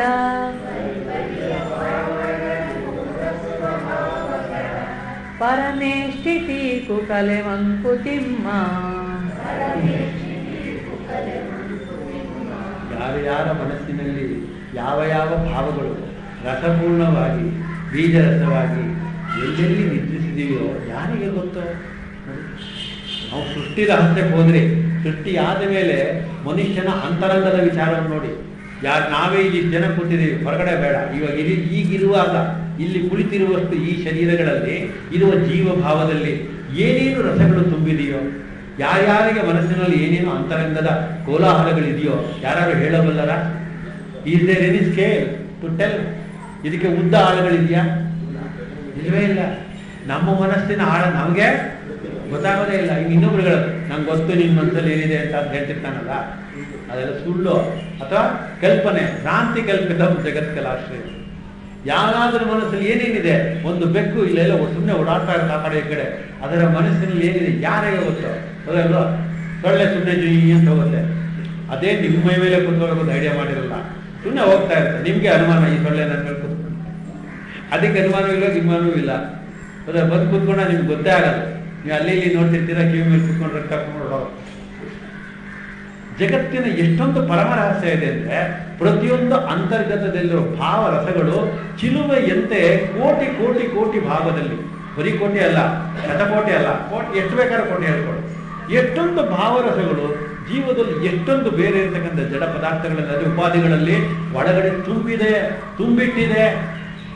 ಯಾರು ಇದನ್ನೆಲ್ಲ ಮಾಡಿದವರು ಒಂದು ಅದ್ಭುತವಾದ ಒಂದು ಪರಿಕಲ್ಪನೆಯನ್ನು ಮಾಡಿಕೊಂಡ್ರೆ ಬಹುದೊಡ್ಡ ಆಶ್ಚರ್ಯ ನಮಗೆ ಕಾದಿದೆ. ಅದು ಸೊ ಅದನ್ನು ಯಾರು ವರ್ಣಿಸಲು ಸಾಧ್ಯವೇ ಹೇಗಾದರೂ ಸಾಧ್ಯವೇ ಅದನ್ನ ಟಿ ಹೀಗೆ ಬರೀತಾರೆ. ಸ್ವರ ರಾಗ ಗೀತೆಗಳು ನಾಟ್ಯಾಭಿನೀತಿಗಳು. ಕರೆದೇಳಿಸುವವು ಮನಸ್ಸಿನಲ್ಲಿ ನಿದ್ರಿಸುವ. ಮನಸ್ಸಿನಲ್ಲಿ ನಿದ್ರಿಸುವ ಈ ಭಾವಗಳೆಲ್ಲವೂ ಕೂಡ ಭಾವಗಳ. ಅಂದ್ರೆ ಈ ಮಧುರ ಪರಿಪರಿಯ ಭಾವ ಪರಿಪರಿಯ ಭಾವಗಳು. ಪರಿಪರಿ ಅಂದ್ರೆ ಬಗೆ ಬಗೆಯ ಭಾವಗಳು. ಮೊದಲ್ವಾ ಈಗ ಒಂದೇ ಕೀರ್ತನೆಯನ್ನ ಐದು ಜನ ಸಂಗೀತಕಾರರಲ್ಲಿ ಹಾಡ್ತೀನಿ. ಒಬ್ಬೊಬ್ಬರು ಬಾಯಿನಲ್ಲಿ ಅದು ಒಂದೊಂದು ತರ ಬರುತ್ತೆ. ಬರುತ್ತಾ ಇಲ್ವಾ? ಒಬ್ಬೊಬ್ಬರ ಗಂಟ್ಲು ಒಂದೊಂದು ತರ. ಯೋಚನೆ ಮಾಡಿ. ಎಂದನೋ ಮಹಾನುಭಾವರು ಎಷ್ಟೊಂದು ಜನ ಹಾಡ್ಬೋದು. ಆದ್ರೆ ಅದೇನೋ ಬಾಲುಗಳು ಹಾಡಿದ್ರೆ ಅದು. ಅದಲ್ವಾ ಒಂದೊಂದು ರಾಗ ಅವರು ಮೋಹನ ರಾಗ ಅವ್ರ ಬಾಯಲ್ಲೇ ಕೇಳಬೇಕು ಅವ್ರ ಬಾಯಲ್ಲೇ ಕೇಳಬೇಕು, ಬೇರೆ ಬೇರೆ ಬರಲ್ಲ ಅಂತಲೇ ಬರುತ್ತೆ. ಅದೇನೋ, ಇವ್ರು ಬಂದದೇ ಇಲ್ಲ, ಅವ್ರು ಬಂದದ್ದು. ಇನ್ನು ಕೆಲವರು ಹಾಡು ಶುರು ಮಾಡಿದ ತಕ್ಷಣನೇ ನಮ್ಮ ಪಾಡಿನ ಹೊಟ್ಟೋಣ ಅದು, ಅವ್ರು ಚೆನ್ನಾಗಿ ಅಭ್ಯಾಸ ಮಾಡಿರ್ತಾರೆ. ಇಪ್ಪತ್ತ್ ಮೂವತ್ತು ವರ್ಷ, ಏನು ಕೇಳ್ತೀರಿ? ಅದಲ್ಲ ಅಂದರೆ ಹಾಗಂತ ಆ ಕಲೆಗಾರನ ಅವರಲ್ಲಿ ಕಲೆಯನ್ನು ಹಂಗಿಸುವುದು ಉದ್ದೇಶ ಅಲ್ಲ ನನ್ನದಲ್ಲ. ಅವರೆಲ್ಲರೂ ಇದ್ದಾರೆ. ಸಂಬಯ ಭಾಗವತರಿಂದ ಹಿಡಿದು ಇಂದಿನ ನವ್ಯ ಹುಡುಗನ ತನಕ ಎಲ್ಲರೂ ಸಂಗೀತದಲ್ಲಿ ಪ್ರವೀಣರೇ. ಆದರೆ ಚಂಬೆಯವರು ಹಾಡೇ ಹಾಡು. ಚಂಬೆ ಭಾಗವತರ ತರ ಯಾರು? ಏನೋ ನೋ ಅಪ್ಪ ನಾಟ್ ಪಾಸಿಬಲ್ ಯೇಸುದಾಸ್ ಅವರ ಗುರುಗಳು. ಅವ್ರದ್ದೆಲ್ಲ ಕೇಳ್ಬೇಕು ನೀವು. ದಾದಾ ಜಯಲಕ್ಷ್ಮಿ ಸತ್ಕುಮಾರಿ ಅವರು ಎಂ ಎಸ್ ಸುಬ್ಬಲಕ್ಷ್ಮಿ ಅವರು, ಅಲ್ಲದೇ ಕೀರ್ತನೆಗಳನ್ನು ಬೇರೆಯವರು ಹೇಳಿರ್ತಾರೆ. ಹೌದಲ್ವ ಆದರೆ ಅವ್ರ ತರ ನೀವೇನು ಬೇಡಪ್ಪ? ನೀವು ಬೆಳಗಾಗಿ ಸುಪ್ರಭಾತ ಕೇಳ್ತಿರಲ್ಲ? ವೆಂಕಟೇಶ್ವರ ಸುಪ್ರಭಾತ ಎಷ್ಟು ಜನ ಎಷ್ಟು ತರ ಕ್ಯಾಸೆಟ್ ಮಾಡಿರ್ಬೋದು? ನೀವು ನೋಡಿದ್ದೀರಿ, ಕೇಳಿದ್ದೀರಿ. ಆದರೂ ನಿಮ್ಮ ಮನಸ್ಸಿನಲ್ಲಿ ಅದೇನೋ ಒಂದು ಬೇರೆ ಜಾಗ. ಯಾರಿಗೆ? ಸುಬ್ಬಲಕ್ಷ್ಮಿಯವರಿಗೆ ಅಲ್ಲ. ಅದೇನೋ ಒಂದು, ಯಾಕದ ಹಾಗೆ? ಅಂತಹ ಒಂದು ರಸಾನುಭವದ ಪೂರ್ಣ ಘಟ್ಟದಲ್ಲಿ ನಮ್ಮನ್ನು ತಗೊಂಡು ಹೋಗೋದಕ್ಕೆ ಆ ಜೀವದಲ್ಲಿ ಆ ಆನಂದದ ಬ್ರಹ್ಮ ಭಾವವು ಅಲ್ಲಿ ಕುಳಿತು ಬಿಟ್ಟಿರುತ್ತದೆ ಒಂದು ಮೀರಾ ಭಜನ್ ಮೀರು ಭಜನ್ ನೀವು ಸುಬ್ಬಲಕ್ಷ್ಮಿ ಮೀರಾ ಭಜನ್ ಕೇಳಿ. ನೋ. ನೀವು ಯಾರಾದರೂ ಬೇರೆ ಕೇಳಿ, ಅದೇನೋ ನಿಮ್ಗೆ ಇದಾಗದೇ ಇಲ್ಲ. ಇವ್ರದ್ದು ಕೇಳ್ತಿದ್ದಾಗ ನಿಮ್ಗೆ ಹಾಗ, ಹಾಗಾಗತ್ತೆ ಅರ್ಥ ಏನು ಅಂದ್ರೆ, ಅಂತಹ ರಸಾನುಭವ ಸುಬ್ಬಲಕ್ಷ್ಮಿಯವರ ಕಂಠದಲ್ಲಿರುವುದಿಲ್ಲ, ಗಾಯನದಲ್ಲಿರುವುದಿಲ್ಲ, ಅಲ್ಲಿರುವ ಯಾವುದೇ ಒಂದು ಪ್ರಾಕಾರದ, ಅಲ್ಲಿರುವ ಸಾಹಿತ್ಯದಲ್ಲಿರುವುದಿಲ್ಲ, ಅದರ ರಸಭಾವ ಇರೋದೆಲ್ಲಿ ನಿಮ್ಮ ಒಳಗಡೆ ಕೇಳುವುದರಲ್ಲಿ ಅದಕ್ಕೋಸ್ಕರ ಕಿವಿ ಪ್ರಧಾನ ಹೇಳಿರೋದು. ಕೇಳುಗನಲ್ಲಿ ಯಾರೊಬ್ಬರು ಚಾಡಿ ಹೇಳ್ತಾನಪ್ಪ ಅಂತ ಇಟ್ಕೊಳ್ಳಿ. ಚಾಡಿ ಹೇಳೋದು ಅನ್ನೋದು ಪ್ರಬಲವಾಗಿ ಪ್ರಭಾವ ಬೀರೋದೆಲ್ಲಿ ಚಾಡಿ ಹೇಳಿರೋದು ನಾವು ಏನಾದ್ರು ಹೇಳ್ಕೊಳ್ಳಿ. ಇವ್ನು ಕೇಳ್ತಾರಲ್ಲ, ಇವ್ನ ಒಳಗಡೆಯಿಂದ ಹೌದಾ? ಮಾಡ್ತೀನಿ ನೋಡು. ಏನು ಗೊತ್ಬಿಡ್ತು ರೋಷ ತಾವ್ ಇದೆಲ್ಲ ಪಾಪ. ಎಲ್ಲಿಂದ ಬಂತ? ಹೀಗೆ. ಸೊ ನನ್ನ ಮನಸ್ಸು ನನಗೆ ಹೇಳಿದಾಗಲೂ ಕೂಡ ಪ್ರತ್ಯಕ್ಷ ಪ್ರಮಾಣಿಸಿ ನೋಡುವಂತಹ ಗುಣ ಮನುಷ್ಯನಿಗೆ ಇರಬೇಕು. ಆಗ ಅವನು ಪ್ರಜ್ಞಾವಂತ ಅಂತ ಅರ್ಥ. ಇಲ್ಲದೇ ಇದ್ರೆ ಅವನು ಜಾಣ. ಜಾಣ ಬೇರೆ ಪ್ರಜ್ಞಾವಂತ ಬೇರೆ. ಇವನು ಜ್ಞಾನವಂತ, ಪ್ರಜ್ಞಾವಂತನಲ್ಲ. ಇದು ಹೇಳಿದ ತಕ್ಷಣ ನಿಮ್ಮ ತಂದೆ ನೋಡಿದ್ರೆ ಏನು ಹೇಳ್ತಾ ಗೊತ್ತಾ ನಿಮ್ಮ ಬಗ್ಗೆ? ಅಂದ್ಬಿಟ್ಟ ತಕ್ಷಣ, ಹೌದಾ? ಮಾಡ್ತೀನಿ ತಡೆ ನಮ್ಮ ಅಪ್ಪನ. ಹೋಗಿ ಕಲಿತಾ ಇದೆಲ್ಲ ನೋಡಿದ್ದೀವಲ್ಲ? ಅದಕ್ಕೋಸ್ಕರನೇ ಯಾವಾಗಲೂ ಬೇರೆಯವ್ರು ಹೇಳ್ತಾರೆ ಅಂದರೆ ಅದರೆಲ್ಲ ಪ್ರಭಾವ ಉಂಟಾಗುವುದು ಅವನಿಂದಲ್ಲ, ಅವನು ಹೇಳುವುದರಿಂದಲ್ಲ, ಅವನು ಹೇಳುವ ಮಾತಿನಿಂದಲ್ಲ. ಅದೆಲ್ಲವೂ ಪ್ರಭಾವಗೊಳ್ಳುವುದು ನಿಮ್ಮ ಒಳಗಡೆ ಇರುವ ರಸಾನುಭವದ ಕಾರಣದಿಂದ. ಸೊ ಅದಕ್ಕೆ ಲೇಪ ಹಚ್ಚುವ, ಅದಕ್ಕೊಂದು ಅರ್ಥ ಕೊಡುವ, ಅದಕ್ಕೊಂದು ಮೋಹಿಸುವ, ಭ್ರಮಿಸುವ ಪರಿಪೂರ್ಣ ಕಲೆಗಾರಿಕೆ ಎಲ್ಲಿದೆ? ಅದು ವಿರುದ್ಧವಾದದ್ದು, ಪರವಾದದ್ದು. ಅದೆಲ್ಲವೂ ಉದಯವಾಗುವುದು ಅಂತಃಕರಣದಲ್ಲೇ. ಇದು ರಸಾನುಭವ. ಗಂಡು ಹೆಣ್ಣಿನ ಪ್ರೀತಿ ದಾಂಪತ್ಯದಲ್ಲಿ ಇರಬೇಕಾದಂಥ ಅನುಸರಣೆ, ಇದೆಲ್ಲ ಭಾವರಸಗಳು ಆಯಾ ಎಲೆಗಳಲ್ಲಿ ಒಳಗಡೆಯಿಂದ ಬರುವುದೇ ಹೊರತು ಹೊರಗಡೆಯಲ್ಲಿ ಯಾವುದೋ ಇರುವುದಿಲ್ಲ. ಅದೆಲ್ಲೂ ಮಾತಾಗಿಂತ ಬರುತ್ತಷ್ಟೆ ಸೊ ನಾಟಕವಿದ್ದಂತೆ, ಒಂದು ಭಾವಪೂರ್ಣ ಅಭಿನಯ ಅಂತ ಹೇಳ್ತೀವಿ. ಅದಲ್ವಾ? ಕೆಲವ್ರಿಗೆ ಬೇರೆ ಅಭಿನಯ. ಈಗ ಸತ್ಯ ಹರಿಶ್ಚಂದ್ರನ ಪಾತ್ರ ಎಲ್ಲರೂ ಮಾಡ್ಬೋಣ ಇರೋರೆಲ್ಲ ಅವ ಪಾತ್ರ ಮಾಡಿದವ್ರು ನಾನು ಎಷ್ಟು ಚೆನ್ನಾಗಿ ಮಾಡ್ತೀನಿ ಅಂತ ಹೇಳ್ತಾನೆ ಇರ್ತೀವಿ. ಆದರೆ ಎಲ್ಲರೂ ಮನಸ್ಸಲ್ಲಿ ಒಂದಿರುತ್ತೆ. ನಾವೇನೇ ಮಾಡಿದ್ರು ಅಣ್ಣ ಅವ್ರು ಮಾಡಿದಾಗೆ ಆಗಲ್ಲ. ಯಾಕಾಗಲ್ಲ? ಅದು ಭಾವಪೂರ್ಣ ಅಭಿನಯ. ನಮ್ದೇನೆ, ನಾವು ಮಾಡುವಾಗಲೇ ನಮಗೆ ಅವ್ರ ಥರ ಮಾಡೋಕ್ಕಾಗಲ್ಲ ಬಿಡಿ ತಲೆಯಲ್ಲಿದ್ರೆ ಮಾಡೋದೇ ನಕ್ಕಂತರ ಬರ್ತಾನೆ ಅದರಿಂದ ಇಲ್ಲಿದೆ ಹೇಳ್ತಾ ಇದ್ದಾರೆ. ಇದೆಲ್ಲ ರಥಾನುಭವಗಳು ಹೊರಗಡೆಯಿಂದ ಬರುತ್ತೆ. ಪರಿಪರಿಯ ಭಾವಗಳ ಗೂಢ ಸ್ವಭಾವಗಳ. ಗೂಢ ಸ್ವಭಾವಗಳ. ಗೂಢ ಸ್ವಭಾವ. ಯಾಕೆ ಗೂಢ ಸ್ವಭಾವ ಅಂತೇಳಿ ಸ್ವಭಾವ ಅಂದ್ರೇನು? ಮೂರು ಗುಣಗಳು. ಯಾಕೆ ಗೂಢ ಅದು? ಯಾವಾಗಲೂ ಅಸಮ ಮಿಶ್ರಣದಲ್ಲಿರುತ್ತದೆ. ಎಷ್ಟು ಬಿಡ್ತಾರೆ ಅಸಮ ಮಿಶ್ರಣದಲ್ಲಿದೆ. ನನ್ನ ನನ್ನ ಗುಣವು ನನಗೆ ಮೋಸ ಮಾಡುತ್ತದೆ. ನನ್ನ ಗುಣವು ನನ್ನನ್ನೇ ಓಲೈಸುತ್ತದೆ. ನಾನು ಒಳ್ಳೆಯವನೆಂದು ನನಗೆ ಅನಿಸಿದಾಗ ಸತ್ವವು ಪ್ರಧಾನವಾಗಿರುತ್ತದೆ. ನನ್ನಂತೆ ಯಾರು ಕೆಲಸ ಮಾಡೋದೇ ಇಲ್ಲ ಅನ್ನುವಾಗ ನನ್ನ ಹೃದಯವನ್ನು ಪ್ರಧಾನವಾಗಿರುತ್ತೆ. ಅಯ್ಯೋ, ನನಗೆ ಆಲಾಸ ಅಗತ್ಯವಾಗಿದೆ ಅನ್ನುವಾಗ ಪ್ರಮಾಣದಿಂದ ನಿದ್ರೆ ಬರುತ್ತೆ. ಅದು ತಮ್ಮ ಗುಣದಿಂದಾಗಿದೆ. ಈ ಮೂರು ಗುಣಗಳು ಪ್ರತಿ ಕ್ಷಣದಲ್ಲೂ ಕೂಡ ಬೇರೆ ಬೇರೆ ಬೇರೆ ಪ್ರಮಾಣಗಳಲ್ಲಿ ಮೊದಲಾಗಿ ಎರಡನೇದಾಗಿ ಮೂರನೆಯದಾಗಿ ಹಂತ ಹಂತವಾಗಿ ಮೇಲೆ ಕೆಳಗೆ ಮೂರು ಅತ್ಯಂತ ಮಿಶ್ರಣ ಭಾವದಲ್ಲಿದೆ. ಅದು ಕಾರಣದಿಂದ ಇದು ಅತ್ಯಂತ ನಿಗೂಢವಾಗಿದೆ. ಯಾವಾಗ ಮನುಷ್ಯನ ಈ ಮನಸ್ಸಿನ ಭಾವಗಳು ಭಾವಗಳಲ್ಲಿ ಈ ನವರಸಗಳು ಹೇಗೆ ಯಾವಾಗ ತೆರಳುತ್ತದೆ ಯಾರೂ ಹೇಳಲಾರರು ಇದು ಅತ್ಯಂತ ನಿಗೂಢವಾದದ್ದು ರಹಸ್ಯವಾದದ್ದಲ್ಲವೇ? ಅವ್ರು ಕೇಳಿದ್ರು ಡಿವಿಜು ಇದಕ್ಕೆ ಪರಮೇಶಿ ತೀಕು ಕಲೆ ಮಂಕುತಿಮ್ಮ ಹೌದಾ? ಇದೆಲ್ಲವೂ ಪರಮೇಶ್ವರಿಯದೇ ಅಂದ್ರೆ ಆ ಪರಬ್ರಹ್ಮನದೇ ಹೌದಾ? ಅವನದೇ ಕಲೆ. ಆದ್ರೆ ಟೀಕೆ ಮಾತ್ರ ಇದೆ. ಅಂದ್ರೆ ಅಧ್ಯಾರೋಪ, ಏನು ಅಧ್ಯಾರೋಪ ಇದೆ? ಅವ್ರು ಮಾಡಿ ಇವ್ರು ಇವ್ನು ಮಾಡಿ ಸರಿ ಇಲ್ಲ. ನಾವು ಎಲ್ಲವನ್ನ ಭಗವಂತನನ್ನ ಆಳದಲ್ಲಿ ಇಟ್ಟುಕೊಂಡು ಅಧಿಷ್ಠಾನ ಇಟ್ಟುಕೊಂಡು, ಮೇಲೆ ನಾವು ಬೇರೆ ಬೇರೆ ಬೇರೆ ಬೇರೆ ಮಾತಾಡ್ತಾ ಇದ್ದೀವಿ ಅಲ್ಲಿ ಸಿಕ್ಕಾಕೊಂಡ್ಬಿಟ್ಟಿದ್ದೀವಿ ಹೇಗೆ ಅನ್ನೋದು ನೋಡಿ. ಅಧಿಷ್ಠಾನ ಅಂದ್ರೆ ಮೂಲ. ಅಂದ್ರೆ ಆತ್ಮ ಅನ್ನೋದು ಮೂಲ. ಮಿಕ್ಕಿದೆಲ್ಲವೂ ಪ್ರತೀತಿ. ಏನು ಉದಾಹರಣೆ? ನೀರು. ಯಾವಾಗಲೂ ಅದನ್ನೇ ಹೇಳ್ತೀನಿ, ಸದಾ ಸದಾ ನೀವು ಯಾವಾಗ ಅದೇ ಬೇಕು ಬೇಕು ಅಂತಿದ್ರೆ ಅದೇ. ನೀರು ಅನ್ನುವುದು ಮೂಲ. ಹೌದಲ್ವ ಹಾಗಾದ್ರೆ ಮೂಲ ಅನ್ನೋದು ಏನಂತ ಕರೆಯೋಣ? ಅಧಿಷ್ಠಾನ. ಅದರ ಮೇಲೆ ಅಧ್ಯಾರೋಪವನ್ನು ಮಾಡ್ತೀವಿ. ಅಧ್ಯಾರೋಪ ಅಂದ್ರೆ ಅದಕ್ಕೆ ಬೇರೆ ಬೇರೆ ನಾಮರೂಪಗಳನ್ನು ಕೊಡ್ತೇವೆ ಅದನ್ನ ಪ್ರತೀತಿ ಅಂತ ಕರೆದು. ನಮ್ಮ ಸಂಸಾರವೆಲ್ಲವೂ ನಡೀತಾ ಇರೋದು ಪ್ರತೀತಿಯ ಮೇಲೆ. ಅಧ್ಯಾರೋಪ ಆಧಾರವಾಗಿದ್ದರು ಅದನ್ನು ಮರೆತಂತೆ ಇದರ ಮೇಲೆ. ಹಾಗಾದ್ರೆ ನೀರು ಅನ್ನುವುದು ಅಧಿಷ್ಠಾನ. ಹೌದಲ್ವಾ? ಮೂಲ. ಹಾಗಾದ್ರೆ ಮೇಲೆ ಹೇಳೋದು? ಸಿಹಿ ನೀರು. ಬಿಸಿ ನೀರು, ಉಪ್ಪು ನೀರು ಸಮುದ್ರದ ನೀರು, ಕಾವೇರಿ ನೀರು, ಗಂಗೆಯ ನೀರು, ಕೊಳವೆಯ ನೀರು, ಅದನ್ನು ಕಾದಿಟ್ಟಿರುವ ನೀರು, ಚರಂಡಿಯ ನೀರು, ವಾಸನೆ ಎಷ್ಟಿದೆ ಆದರೆ ನೀರು ಮಾತ್ರ ನೀರು ಮೂಲವೇ. ಅದರ ಮೇಲೆ ಇರುವ ಪ್ರತೀತಿ ಪ್ರತೀತಿ ಅಂದರೆ ನಾಮರೂಪಾತ್ಮಕವಾಗಿರುವ ಜಗತ್ತು. ಇಲ್ಲೂ ಅಷ್ಟೇ, ಒಳಗಡೆ ಆತ್ಮ ಇದೆ, ಆತ್ಮದ ಮೇಲೆ ಏನೇನು ಹೊದಿಕೆಗಳು ಮನುಷ್ಯ, ಸಿಂಹ, ಹುಲಿ, ಆನೆ, ಕರಡಿ, ಮರ, ನಕ್ಷತ್ರ, ಸೂರ್ಯ, ಚಂದ್ರ, ಆಕಾಶ, ವಾಯು, ಅಗ್ನಿ ಇದೆಲ್ಲವೂ ಪ್ರತೀತಿ. ಇದೆಲ್ಲವೂ ಕೇಂದ್ರ ಬಿಂದವಾಗಿರುವ ನಾನು ನಾನು ಅನ್ನುವ ಅಹಂ ತತ್ವವನ್ನು ಬರಾ ಎಲ್ಲ ಕಡೆಯೂ ಒಳಗು ಒಳಗು ಬೆಳಗತ್ತಿರ್ತಕ್ಕಂಥ ಆತ್ಮ ಏನಿದೆ? ಅದು ಅಧಿಷ್ಠಾನ. ಅದರ ಮೇಲೆ ಅಧ್ಯಾರೋಪ ಮಾಡಿ ಈ ಜೀವನ ಈ ಜೀವನ ಪ್ರಯಾಣ ನಡೆಯುತ್ತಿದೆ. ಅದು ಆ? ಅದನ್ನ ಮರೆತು ನಾವು, ನಾನು ನಾನು, ನಂದು ನಂದು ಅಂತೀವಲ್ಲ ಎಲ್ಲಿದೆ?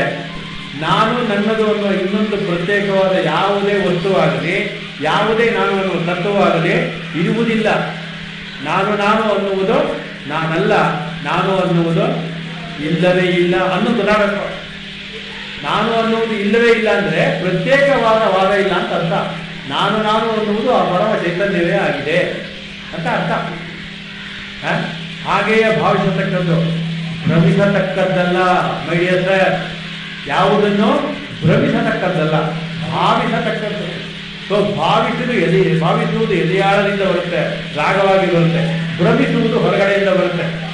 ಶಬ್ದಸ್ಪರ್ಶ ರೂಪದಿಂದ ಬರೋದೆಲ್ಲವೂ ಭ್ರಮಿತವಾದದ್ದು. ಆದರೆ ಒಳಗಡೆಯಿಂದ ಬರುವ ಅನುಭೂತಿಯಾದದ್ದು ಭಾವದಿಂದ ಬರೋದು. ಸೊ ಒಳಗಿಂದ ಭಾವದಿಂದ ಬರುವುದು ಪ್ರಜ್ಞಾಪೂರ್ವಕವಾಗಿರುತ್ತೆ. ಹೊರಗಡೆಯಿಂದ ಬರೋದೆಲ್ಲವೂ ಜ್ಞಾನಪೂರ್ವಕವಾಗಿರುತ್ತೆ ಸೊ ಜ್ಞಾನ is variable knowledge is always variable wisdom doesn't vary ಅದು ವೇರಟ್ಟೆ ಇರಲಿಲ್ಲ ಅದಕ್ಕೆ. ಅದು ಅದು it is not variable Narayana, ಅದು ನಾನು, ಅದು ಮೂಲ. ಅಲ್ಲಿಂದ ರಸಭಾವವೆಲ್ಲವೂ ಉಕ್ಕುತ್ತದೆ ಪ್ರಕಟವಾಗುತ್ತದೆ. ಹಾಗೆ ಪ್ರಕಟವಾದದ್ದೇ ಸೃಷ್ಟಿ ಸ್ಥಿತಿ ಲಯ ಅಂತ ನಾವು ಕರೆಯೋದು. ಅದೆಲ್ಲವೂ ಈ ಜೀವ ಭಾವದಿಂದ ಉಂಟಾಗತಕ್ಕಂಥ ಭಾವರಸಗಳು ಅನುಭಾವ ರಸಗಳು ಅನುಭೂತಿ ರಸಗಳು ಇಂದ್ರಿಯ ಜ್ಞಾನದ ಅರ್ಥವಾಗಿ ಅನುಭವಕ್ಕೆ ತಂದುಕೊಳ್ಳತಕ್ಕಂಥ ಪ್ರಾಕೃತ ರಹಸ್ಯ ಅಂದರೆ ಮಾಯಾ. ಮುಂದಕ್ಕೆ. ಮುಂದಿನ ಶ್ಲೋಕ. ಮುಂದಿನ ನೋಡಿ ವ್ಯಸನ ಕಾರಣವೊಂದು, ಹಸನ ಕಾರಣವೊಂದು.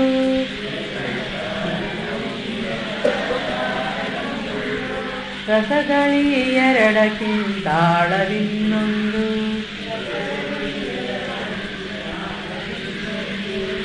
ವೃಷ ವಿಶ್ವಜೀವಿತ ಗಭೀರತೆಯ ದರ್ಶನದ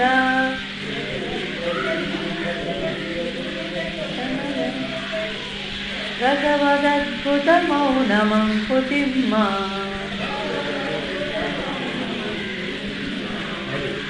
ಮಂಕುತಿಮ್ಮ ಅದ್ಭುತ ಮೌನ ಮೌನ ಎಲ್ಲಿ ತಗೊಂಡೋಗಿ ವಿಷಯ ಡಿವಿಷನ್ ನೋಡಿ ಈ ಜಗತ್ತನ್ನು ನೋಡಿ ಬೆಕ್ಕಸ ಬೆರಗಾಗಬೇಕು. ನಿಜವಾದ ಜ್ಞಾನಿಯಾದವನು ಬೆಕ್ಕಸ ಬೆರಗಾಗೋದಿಲ್ಲ. ಮೌನವಾಗುತ್ತದೆ ಬೆರಗುಗೊಳಿಸುವುದು ಅಜ್ಞಾನದ ಕಾರಣದಿಂದ. ಆದರೆ ಜ್ಞಾನವು ಬೆಕ್ಕಸ ಬೆರಗಾಗುವುದನ್ನು ಕೂಡ ಮೌನದಲ್ಲಿ ನೋಡುವುದು. ಮೌನವೇ ಮುಕುಂದ. ಮುಕುಂದ ಅಂದ್ರೆ ಏನು? ಮುಕ್ತಿದಾಯಕವಾದದ್ದು. ಅಂದ್ರೆ ಇದೆಲ್ಲವೂ ಭ್ರಮಾತ್ಮಕವಾಗಿದೆ ಎಂಬ ನಿರ್ಣಯಾತ್ಮಕ ತತ್ವದ ನಿಲುಗಡೆ ಏನಿದೆ, ಅಂದ್ರೆ ಅದು ಚೀಫ್ ಜಸ್ಟಿಸ್ ಹೇಳುವಂಥದ್ದು ಒಳಗಡೆ ಇರ್ತಕ್ಕಂಥ ಪರತತ್ವ ಏನಿದೆ, ಅದರಿಂದ ಗೊತ್ತಾಗತಕ್ಕಂಥದ್ದು ಏನು ನಮಗೆ? ಮೂಲದಲ್ಲಿ ಮೌನವೇ ಮುಕುಂದ. ಅದಲ್ವ ಅಂದ್ರೆ ಎಲ್ಲವನ್ನ ಬೇರೆಂಟಾಗಿ ನೋಡೋದು ಈಗ ಈ ಮರದಲ್ಲಿ ಕೂಗುತ್ತಿರುವ ಇದೆಲ್ಲವೂ ಕೂಡ ಏನೇನು ಮಾತನಾಡುತ್ತಿದೆ, ಏನೇನು ಇಲ್ಲಿಂದ ಬೆಳಗಿನ ಸಂಜೆಗಾದ ಕಾರ್ಯಗಳಿದೆ, ಅದರ ಎಕ್ಸ್ಪ್ಲನೇಷನ್ ಇದೆ ಅದೆಲ್ಲದರ ಅನುಭವವು ಅದಕ್ಕಾಗುವುದು ಮೌನದಲ್ಲಿ ಕೆಲವೇ ನಿಮಿಷಗಳು ಮೌನ ಆಗ್ಬಿಡುತ್ತೆ ನೋಡಿ ಅದಲ್ವಾ ಮೌನವಾದಾಗ ಏನು ಮಾಡ್ತಾ ಇರ್ತದೋ ಆನಂದ ಹಾ? ಬೆಳಗಾಗಿ ಎದ್ದೆ ತಾನೆ ಸಂಸಾರ ತೆಗೆಯೋದು, ಸಂಸಾರ ವೃಕ್ಷ ತೆಗೆಯೋದು, ಎಲ್ಲ ಹಕ್ಕಿಗಳು ತಮ್ಮ ತಮ್ಮ ಗೂಡಿನಿಂದ ಹೋಗುವುದು, ಎಲ್ಲ ಪ್ರಾಕಾರಗಳು ನಡೆಯುವುದು ಸೊ ಒಂದು ವೃಕ್ಷದಲ್ಲಿರುವ ಆ ಹಕ್ಕಿ ಗಿಡಗಳೇ ಇಡೀ ಮಾನವ ಸೃಷ್ಟಿಯಲ್ಲಿರುವ ಜೀವಕೋಟಿಯನ್ನು ಸೂಚಿಸುತ್ತದೆ ಸಂಕೇತಿಸುತ್ತದೆ. ನೋಡಿ ಹತ್ತು ಪರ್ಸೆಂಟ್ ಕಡಿಮೆ ಆಗುತ್ತೆ ಹೌದು ಅದು ಇಲ್ಲಿ ನಾವು ಹೇಳ್ತೇವೆ ಹೇಳುವಂಥದ್ದು ಅದರಿಂದ ಹೇಳ್ತಾ ಇದ್ದಾರೆ ಡಿ ವಿ ಚೆನ್ನಾಗಿದೆ ವಿಷಯ ವ್ಯಸನ ಕಾರಣ ಒಂದು ಹಸನ ಕಾರಣ ಒಂದು. ಮನುಷ್ಯನಿಗೆ ವ್ಯಸನಕ್ಕೆ ಒಂದು ಕಾರಣ. ಹಸನಕ್ಕೆ ಒಂದು ಕಾರಣ ಅಂದ್ರೆ ಆನಂದಕ್ಕೆ ಒಂದು ಕಾರಣ. ಸುಖಕ್ಕೊಂದು ಕಾರಣ ದುಃಖಕ್ಕೊಂದು ಕಾರಣ. ಅದೆಲ್ಲ ಅದರ ತಮಾಷೆ ಏನಪ್ಪ ಅಂದ್ರೆ, ಯಾವನಿಗೆ ಯಾವುದು ದುಃಖಕ್ಕೆ ಕಾರಣವೋ ಅದೇ ಕಾರಣದಿಂದ ಇನ್ನೊಬ್ಬ ದುಃಖ ಪಡ್ತಾ ಇರ್ಬೋದು. ಇದು ವೈಚಿತ್ರ. ಬಹಳ ವಿಚಿತ್ರ ಇದು. ಅದರಲ್ಲೂ ವಿಚಿತ್ರ ಜಗತ್ತಿನಲ್ಲಿ ಆಗುವ ಎಲ್ಲ ಭಾವಗಳನ್ನು ನೋಡಿ. ಒಬ್ಬನಿಗೆ ಏನು ಗೊತ್ತಿಲ್ಲದಿದ್ದರೂ ನನಗೆಲ್ಲ ಗೊತ್ತು ಅನ್ನುವ ಏನೋ ಜಂಬಾವನೆ ಹೌದಲ್ವಾ? ಎಲ್ಲ ಗೊತ್ತಿರುವವನು ಮೌನವಾಗಿರ್ತಾನೆ. ಅದನ್ನು ಹೇಳಬೇಕಾದ ಜಾಗದಲ್ಲಿ ಎಷ್ಟು ಹೇಳಬೇಕು ಅಷ್ಟು ಮಾತ್ರ ಹೇಳ್ತಾನೆ. ಅಷ್ಟು ಮಾತ್ರ ಪ್ರಾಕಟ್ಯ ಮಾಡ್ತಾನೆ. ಅದಲ್ವ ಅದು ಯಾಕೆ ಹಾಗಾಗಿರುತ್ತೆ ಅಂದರೆ, ಅದು ಜಗತ್ತಿನ ವಿಚಿತ್ರ. ಒಬ್ಬನಿಗೆ ಮಕ್ಕಳಿಲ್ಲ ಅನ್ನುವುದು ನೋವು. ಅವರಿಗೆ ಅದು ಸಂಕಟ. ಅದಲ್ವ ಅವರ ಮನಸ್ಸಿಗೆ ಅಳು ಬರುವಂತಹ ವಿಚಾರ. ದುಃಖದ ವಿಚಾರ. ಆದರೆ ಇನ್ನೊಬ್ಬ ಹೇಳ್ತಾನೆ, ನಿಂಗೆ ವಾಸಕಣ್ಯ ನನ್ನ ನಾಲ್ಕು ಜನ ಮಕ್ಕಳಿದ್ದಾರೆ. ಎಷ್ಟು ದುಃಖ ಅಂತ್ಯ ಯಾಕೆ? ಮಕ್ಕಳೇ ಕಾರಣ ಎರಡಕ್ಕೂ ಆದ್ರೆ ಒಬ್ಬನಿಗೆ ಇರುವುದು ಸಂಕಟ, ಒಬ್ಬನಿಗೆ ಇಲ್ಲದೇ ಇರುವುದು ಸಂಕಟ. ಹೌದಾ ಹಾಗಾದ್ರೆ ಮಕ್ಕಳಿದ್ದರೂ ಸುಖವಾಗಿರುವುದು ಯಾವುದು ಮಕ್ಕಳು ಇದ್ದಾರೋ ಇಲ್ಲವೋ ಅನ್ನುವುದು ನನ್ನ ಸುಖಕ್ಕೂ ಯಾವ ಸಂಬಂಧವೋ? ಇರುವುದಿಲ್ಲ ಅನ್ನುವ ಜ್ಞಾನದಿಂದಲೇ ಸುಖ. ಮಕ್ಕಳಿಂದಾಗಲಿ ಅಕ್ರಮದಿಂದಾಗಲಿ ಆಗಲ್ಲ. ಯಾಕಲ್ಲ? ಸುಖದ ಮತ್ತು ದುಃಖದ ಭಾವರಸ ಎಲ್ಲಿರೋದು? ಒಳಗಡೆ. ಈ ಜೀವಿತ ಅದೇ ತಾನೆ, ಅದೇ ಕಲೆ ತಾನೆ. ಸೊ ನಾನು ಆನಂದವಾಗಿದ್ದೇನೆ ಅನ್ನೋದು ಬೇರೆ. ನಾನು ಆನಂದವನ್ನು ಪಡುತ್ತೇನೆ ಅನ್ನೋದು ಬೇರೆ. ಪಡುತ್ತೇನೆ ಅನ್ನುವವನಿಗೆ ಇಡೀ ಜೀವಿತ ಕಾಲದಲ್ಲಿ ಆನಂದದ ಅನುಭವ ಎಂದಿಗೂ ಆಗುವುದೇ ಇಲ್ಲ. ಆದ್ರೆ ಏನಾಗುತ್ತೆ ಅವನಿಗೆ? ಆನಂದದ ಭ್ರಮೆ ಉಂಟಾಗುತ್ತದೆ. ಭ್ರಮಿತ ಕಾರಣದಿಂದ ಅವನು ಜಗತ್ತಿನಲ್ಲಿ ಇದನ್ನ ಹೊಂದಿದೆ. ಆನಂದವಾಗಿದ್ದೀನಿ. ಇದನ್ನ ನಾನು ಪಡೆಯಲಿಲ್ಲ ದುಃಖವಾಗಿದ್ದೀನಿ. ಅಂದ್ರೆ variable status of mind so knowledge only variable not wisdom it is wise ಪ್ರತಿಯೊಬ್ಬರಿಗೂ ನಾವು ಇರಬೇಕಾದದ್ದು ಏನು ಅಂದ್ರೆ ಎಲ್ಲರೂ ಜ್ಞಾನವಂತರೇ. ಆದರೆ ನಮಗಿರುವ ಜ್ಞಾನದಿಂದ ನಾವು ಪ್ರಜ್ಞಾವಂತರಾಗಬೇಕು. ಯಾರಿಗೋ ಇಲ್ಲದೇ ಇರುವ ಒಂದು ವಸ್ತುವಿನಿಂದ ನಾನು ಹರ್ಷಪಡುವುದು ಯಾರಿಗೋ ನನ್ನಲ್ಲಿರುವುದಕ್ಕಿಂತ ಕಡಿಮೆ ಇದ್ದಾಗ ಕಷ್ಟಪಟ್ಟು ಅವನಲ್ಲಿ ಜಾಸ್ತಿ ಕಂಡಾಗ ದುಃಖ ಪಡುವುದು, ಇದೆಲ್ಲವೂ ವೇರಿಯಬಲ್ ಇದು ಜ್ಞಾನದಿಂದ ಬರೋದು. ಯಾವ ಜ್ಞಾನದಿಂದ? ಲೌಕಿಕ ಜ್ಞಾನದಿಂದ ಲೋಕ ಜ್ಞಾನದಿಂದ. ಅದೆಲ್ಲವೂ ವಾಸನ ಮಿಶ್ರಿತವಾದದ್ದು. ವಾಸನ ಎಚ್ಚರತಕ್ಕೆ ಸೇರುವಂಥದ್ದು ಅದಕ್ಕೆ ಡಿ ವಿಜಯರ್ ಹೇಳ್ತಾ ಇದ್ದಾರೆ ಎಷ್ಟೊಂದು ಪರಿ ಪರಿ ಇದೆ ಇದರಲ್ಲಿ. ರಸಗಳಿ ಎರಡಕ್ಕಿಂತ ಆಳ ಇನ್ನೊಂದು. ನೋಡಿ ಈ ಎರಡಕ್ಕಿಂತ ಈ ರಸ ಎರಡು ಹೊರಗಡೆ ಪ್ರಕಟ ಆಗುತ್ತೆ. ಸುಖ ದುಃಖಗಳಿಗೆ ಕಾರಣವನ್ನು ನಾವು ಹೊರಗಡೆ ಹುಡುಕ್ತಾ ಇರ್ತೀವಿ ಹೋದಲ್ವ? ಅಯ್ಯೋ ನಾನು ಈ ದುಡ್ಡು ಬಂದ್ಬಿಡುತ್ತೆ ಅನ್ಕೊಂಡೆ ಬರಲಿಲ್ಲ ಅವನು. ಇನ್ನೊಬ್ಬ ನನ್ನ ದುಡ್ಡಿದೆ ಯಾವ ರೈಟ್ ಮಾಡ್ಬಿಡ್ತಾರೋ ಅವನೊಬ್ಬ. ಈ ಥರ ಎರಡಿದೆಯಲ್ಲ ಬೇರೆ ಬೇರೆ ಎಲ್ಲ ಇದೆ. ಇದೆಲ್ಲ ಹೊರಗಡೆ ಬರುತ್ತೆ. ಅದು ಇದೆಲ್ಲದಕ್ಕೂ ಕಾರಣವಾಗಿರುವ ರಸಭಾವ ಇನ್ನೊಂದು ಮೂರನೇದು ಅದು ಥರ್ಡ್ ಡೈಮೆನ್ಷನ್ ಹೌದಾ? ನೋಡಿ, ಮೂಲದಿಂದ ಬರುವ ಎರಡು ಆ್ಯಂಗಲ್ ಹೀಗೆ ಬಂದರೆ, ಹೀಗೆ ಸೇರ್ತದೆ ಟ್ರಯಾಂಗಲ್ ಅಂತ ಕರಿತೀವಿ. ಆದ್ರೆ ಈ ಟ್ರಯಾಂಗಲ್ ಮೂಲ ಏನಿದೆ? ಮೇಲೆ ನೇತಾಡ್ತಾ ಇರುತ್ತಲ್ವಾ? ಅಲ್ಲಿಂದನೇ ಬಂದಿರುವ ರೇಖೆ, ಅಲ್ಲಿಂದನೇ ಬಂದಿರುವ ರೇಖೆ. ಈ ಕೆಳಗಿನ ರೇಖೆಯಲ್ಲಿ ನಿಂತಿರುವವರಿಗೆ ಆ ಕೂಡಿರುವ ಮೂಲ ಏನಿದೆ? ಗೊತ್ತಾಗೋದೇ ಇಲ್ಲ. ತಕ್ಕಡಿ ನೋಡಿ ಇವಾಗ. ತಕ್ಕಡಿಯಲ್ಲಿ ಒಂದು ಕಡೆ ತಟ್ಟೆಯಲ್ಲಿ ಒಂದು ಪದಾರ್ಥ, ಇನ್ನೊಂದು ತಟ್ಟೆಯಲ್ಲಿ ವೆಯ್ಟ್ ಅದಕ್ಕೆ ಏನಂತೀವಿ ತೂಕ. ತೂಕದ ಕಲ್ಲು ಅದಕ್ಕಿರ್ತೀವಿ ಆದರೆ ಇದೆಲ್ಲನ್ನು ನೋಡುತ್ತಿರುವವನಿಗೆ ಸಮತ್ವದ ಅರಿವಾಗುವುದಿಲ್ಲ. ತೂಕ ಇದಾಗಿ ಪದಾರ್ಥ ಹಾಕೋ, ಇಲ್ಲ ಪದಾರ್ಥ ತೆಗಿ ಅಂತಿರ್ತಾನೆ. ಆದರೆ ಇದೆರಡನ್ನ ಗಣನೆಗೆ ತರೋದು ಯಾವುದು? ಮೇಲಿನದು. ಮೇಲಿನಿರುವ ನೀರಿಲೇನಿದೆ ಅದು? ಅದನ್ನ ನೋಡ್ತಾ ಇದ್ರೆ ಸಾಕು ನೀವು. ಕೆಳಗಡೆ ಸರಿಯಾಗಿ ಗೊತ್ತಾಗುತ್ತೆ ಹೌದಾ? ಅದಕ್ಕೆ ಜಾಣನಾದ ವ್ಯಾಪಾರಿ ಏನ್ ಮಾಡ್ತಾನೆ, ಇವರು ಮೇಲ್ಗಡೆ ನೋಡ್ತಾ ಇದ್ದಾರೆ ಅಂತ ಹೇಳ್ಬಿಟ್ಟು ಕೆಳಗಡೆ ಮೇಣ ಗೀಣ ಅದನ್ನು ಬರ್ತಿರುತ್ತೆ ಅಂತ ಹೇಳ್ತಾರೆ. ಅದು ಹೇಳಿದ್ರೆ ನಿಜ ಗೊತ್ತಿಲ್ಲ. ಇದೇ ಹೀಗೆ ಗೊತ್ತಾಗದೇ ಇರೋದು ಅಂದ್ರೆ ಡಿಜಿಟಲ್ ಡಿಜಿಟಲ್ ನೀವು ನೋಡ್ಬೇಕಾದ್ರೆ ಆಟೋದಲ್ಲೇ ಓಡಾಡಬೇಕು. ನೀವು ಹತ್ತು ಆಟೋದಲ್ಲಿ ಒಂದು ಜಾಗದಿಂದ ಒಂದು ಜಾಗಕ್ಕೆ ಹೋಗಿ ಇನ್ನೊಂದು ಜಾಗಕ್ಕೆ ಹತ್ತು ಮೀಟರ್ನು ಹತ್ತು ತರ ಟೋಟ ಯಾಕೆ?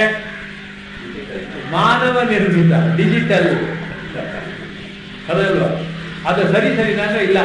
To the best of my knowledge ಅಂದ್ಬಿಟ್ಟು ಪ್ರತಿಯೊಂದು ಫಾರ್ಮುಲಾದಲ್ಲೂ ಕೊನೆಗಡೆ plus or minus five percent ಅಂತ ಬರೀತಾರೆ. ಎನಿ ವಿಜ್ಞಾನದ ವಿಚಾರ ಕೂಡ ನೀವು ಹೋದ್ರೆ ವರ್ಲ್ಡ್ ಆಫ್ ನಮ್ಮ ವಿಜ್ಞಾನದ ಮಂದಿರದಲ್ಲೂ ಕೂಡ ಸೈನ್ಸ್ ಏನಿದೆ ವರ್ಲ್ಡ್ ವರ್ಲ್ಡ್ ಹೆಲ್ತ್ ಕಾರ್ಪೊರೇಷನ್ ಕೂಡ ಕೂಡ ವರ್ಲ್ಡ್ ಹೌಸಲ್ಲೂ ಕೂಡ ಮೇಲ್ಗಡೆ ಒಂದು ಸ್ಲೋಗನ್ ಇದೆ. Any of the science result is not ultimate ಅಂದ್ರೆ ಇದು ಪರಿವರ್ತನೆಗೆ ಅಂದ್ರೆ ಯಾವಾಗಲೂ ಪುನರಾವರ್ತನೆಗೆ ಮತ್ತೆ ಮೇಲೆ ಕಡೆಗೆ ಆಗೋದಕ್ಕೆ ಇದು ಬಾಧಿತವಾಗುತ್ತದೆ. ಟರ್ಮ್ಸ್ ಅಂಡ್ ಕಂಡೀಷನ್ ಅಪ್ಲೈಡ್ ಯಾವ್ದಾದ್ರು ಅಡ್ವರ್ಟೈಸ್ಮೆಂಟ್ ನೋಡಿ, ಜೋರ್ ಜೋರಾಗಿ ಎಲ್ಲ ಅಡ್ವರ್ಟೈಸ್ ಹೇಳ್ಬಿಡು ಹೇಳ್ಬಿಟ್ಟು ಕೊನೆಯಲ್ಲಿ ಒಂದು ಸ್ಟಾರ್ ಹಾಕಿರ್ತಾರೆ. ಏನಾಗುತ್ತೆ? ಹಾ ಟರ್ಮ್ಸ್ ಅಪ್ಲೈ ನೀವು ಅದಿಲ್ಲ ಅಂತ ಏನಾದ್ರು ಓದಿ ತಿಳ್ಕೊಳ್ಳಿ ನೀವು ಮೊದಲೇ ಚೆಕ್ ಕೊಡ್ಬೇಕ್ರಿ. ಕ್ಯಾಶ್ ಬೇಡ ಅಂತ ನೀವು ಚೆಕ್ ಕೊಡಿ. ಆದರೆ ನಿಮ್ದು ಚೆಕ್ ನಮ್ಮ ಅಕೌಂಟ್ ಹಾಕಿ ಕ್ರೆಡಿಟ್ ಆದ್ಮೇಲೆ ನೀವು ಮೆಟೀರಿಯಲ್ ಕೊಡೋದು ಅಂತ. ಅವ್ನ ಜನ ನೀವ? ನೀವೇ ದುಡ್ಡು ಕೊಡ್ಬೇಕಾಗಿಲ್ಲ ಅಂತ ಬರ್ದೇನೆ ಕೊಡೋದ್ರೆ ತಿಳ್ಕೊಳ್ಳಿ ಕೆಳಗಡೆ ನೋಡ್ರಿ ಸ್ಟಾರ್ ಹಾಕಿಲ್ಲ. ಮಾತಾಡ ಯಾವ್ದಾದ್ರು ತಗೊಳ್ಳಿ. ಯಾವಾಗಲೂ ಐ ಸಿ ಯು ಒಳಗಡೆ ಪೇಷಂಟ್ನ ತಗೊಂಡು ಹೋಗುವಾಗ, ಆಪರೇಷನ್ ಓಟಿಗೆ ತಗೊಂಡು ಹೋಗುವಾಗ ಅವ್ನು ಸೈನ್ ಹಾಕಿರ್ತಾನೆ. ಯಾಕೆ? ಟರ್ಮ್ಸ್ ಕಂಡೀಷನ್ ಅಪ್ಲೈ ಇಲ್ಲ. ಅವ್ನು ಬರುವಾಗ ನಿಮ್ಮ ಮನೆಯವನೋ ಅಲ್ವೋ ನಮಗೆ ಗೊತ್ತಿಲ್ಲ. ಅದಲ್ವ ಅವನು ಶಿವನ ಶವನ ನಮ್ಗೆ ಗೊತ್ತಾಗಲ್ಲ. ಅದಕ್ಕೆ ಸೈನ್ ಹಾಕ್ಬಿಡ್ತೀವಿ. ಆದರೂ ಕೇಸ್ಗಳು ಅದು ಇದು ಟಿ ವಿ ಎಲ್ಲ ಮಾಡ್ತಾ ಇದೆಲ್ಲ ಮನುಷ್ಯನ ವ್ಯಾಪಾರದ ಮೇಲ್ನೋಟದ ನಾಟಕೀಯವಾಗಿರ್ತ ಬದಲಾವಣೆ ಬೆಳವಣಿಗೆ ಅದಾಗತ್ತೆ. ಅದಕ್ಕೆ ಟಿ ವಿಯಲ್ಲಿ ಹೇಳ್ತಾ ಇದ್ದಾರೆ. ಇದೆಲ್ಲವನ್ನು ಕೂಡ ಒಂದಕ್ಕಿಂತ ಆಳ ಇನ್ನೊಂದು. ಒಂದಕ್ಕಿಂತ ಆಳ ಇನ್ನೊಂದು. ಅಂದ್ರೆ ಒಂದನ್ನ ಅರ್ಥ ಮಾಡ್ಕೊಂಡ್ರೆ ಇದು ಅರ್ಥ ಆಗೋದಿಲ್ಲ ಒಂದರ ಮೇಲೆ ಒಂದು ನಿಂತಿದೆ ಅಂತ ಅನ್ಕೋತೀವಿ. ಹಾಗಿರೋದಿಲ್ಲ. ಇದೆಲ್ಲವೂ ಪರಸ್ಪರ ಭಾವಯಂತಹ ಏನಿದೆ. ನಾವು ಮಾಡಿಕೊಂಡಂತಹ ಅರ್ಥದಲ್ಲಿ ನಾವು ಮಾಡಿಕೊಳ್ಳಬಹುದಾದ ಪರಿಪೂರ್ಣತೆ ಇಲ್ಲದೇ ಇರುವುದರಿಂದ ಅಂದ್ರೆ ಅರ್ಥ ನಮ್ಮ ಒಳಗಡೆ ಇರುವ ಬುದ್ಧಿಯಲ್ಲಿ ಜ್ಞಾನ ಭೇದ ಇರುವುದರಿಂದ ಅಭೇದವಾದ ತತ್ವದಲ್ಲಿ ನಿಲ್ಲುವ ಆನಂದದ ಪ್ರಾಪ್ತಿ ಕಷ್ಟ ಕಣಪ ಅಂದ್ರು ಕೊನೆಯಲ್ಲಿ. ದೃಶ ವಿಶ್ವ ಜೀವಿತ ಗಂಭೀರತೆಯ ದರ್ಶನದ ರಸವದ ಅದ್ಭುತ ಮೌನ. ಹೇಗೆ ನೋಡಿ ಘೃತ ಅಂತಂದ್ರೆ ವಿಚಿತ್ರವಾದ ಅಂತ. ವಿಚಿತ್ರವಾದ ಈ ಜಗತ್ತಿನಲ್ಲಿ ಒಂದಕ್ಕಿಂತ ಒಂದು ವಿಚಿತ್ರ. ಬರೀ ಸೃಷ್ಟಿಯಲ್ಲಿರ್ತಕ್ಕಂಥ ಬರೀ ವ್ಯಕ್ತಿಯಿಂದ ವ್ಯಕ್ತಿಗೆ ಅನ್ಕೋಬೇಡಿ ಮನಸ್ಸಿನಿಂದ ಮನಸ್ಸಿಗೆ, ಇಷ್ಟದಿಂದ ಇಷ್ಟಕ್ಕೆ ಅನಿಷ್ಟದಿಂದ ಅನಿಷ್ಟಕ್ಕೆ, ಪ್ರಾಪ್ತಿಯಿಂದ ಅಪ್ರಾಪ್ತಿಗೆ ಯಾವುದೋ ನೋಡಿ, ಎಲ್ಲವೂ ಕೂಡ ಒಂದು ನಿಮಿಷದಲ್ಲಿ ಇದ್ದಾಗ ಇನ್ನೊಂದು ನಿಮಿಷ ಇಲ್ಲ. ಒಬ್ಬ ವ್ಯಕ್ತಿ ಇದ್ದಾಗ ಇನ್ನೊಬ್ಬ ವ್ಯಕ್ತಿ ಇಲ್ಲ. ಒಬ್ಬ ಮನುಷ್ಯನ, ಒಬ್ಬ ವ್ಯಕ್ತಿಯ ಮನಸ್ಸಿನಲ್ಲಿರುವ ಅವನದೇ ಆಲೋಚನೆಗಳು ತದನಂತರ ಅದರಂತಿಲ್ಲ ಅದಕ್ಕೋಸ್ಕರ ಇನ್ನೇನು ಕರೆದ್ರು? ವಿಚಿತ್ರವಾದ ಜಗತ್ತು. ವಿಚಿತ್ರವಾದ ಜಗತ್ತು ಅಂದ್ರೆ ಅರ್ಥ ಏನಂದ್ರೆ ವಿಶೇಷವಾದ ಚಿತ್ರ ಅಂತ. ವಿಶೇಷವಾದ ಚಿತ್ರ ಅಂದ್ರೇನು ಒಬ್ಬ ಮನುಷ್ಯ ಇದ್ದ ಭೌತ ಭೌತ ಚಿತ್ರ ತಗೊಳ್ಳಿ ಭೌತ ಚಿತ್ರನ ತಗೊಳ್ಳಿ. ಒಬ್ಬ ಮನುಷ್ಯ ಇದ್ದಾಗೆ ಇನ್ನೊಬ್ಬ ಮನುಷ್ಯ ಇಲ್ಲ. ಏನೋ ಒಂದು ಕಣ್ಣು ಮುಖ ಬೆರೆತಾರೆ. ಕುಳ್ಳೋ ಮೇಲೋ, ಬೆಳಗೋ, ತಪ್ಪೋ, ಏನಾದ್ರು. ಎಷ್ಟು ಕೋಟಿ ಕೋಟಿ ಜನ ಸೃಷ್ಟಿ ಮಾಡಿದ್ರು ಕೂಡ ಒಬ್ಬರ ತರ ಇನ್ನೊಬ್ಬರು ಇಲ್ಲ. ಇವು ಸಮಾಧಾನ ಕೇಳೋದು. ವರ್ಷದ ಪ್ರಪಂಚದಲ್ಲಿ ಏಳು ಜನ ಒಂದೇ ತರ ಇರ್ತಾರಂತೆ. ಗೊತ್ತಾ ನಿಮಗೆ?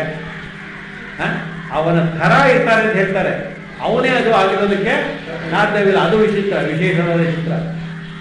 ಅದು ಭೌತ ಅಲ್ಲ ಇನ್ನು ಅಂತಃಕರಣಕ್ಕೆ ಒಳಗಡೆ ಹೋಗ್ಬಿಟ್ರು, ಒಬ್ಬನ ಮನುಷ್ಯನಿರೋ ಇಷ್ಟಗಳು ಇನ್ನೊಬ್ಬನಿಗೆ ಇಷ್ಟ ಇಲ್ಲ.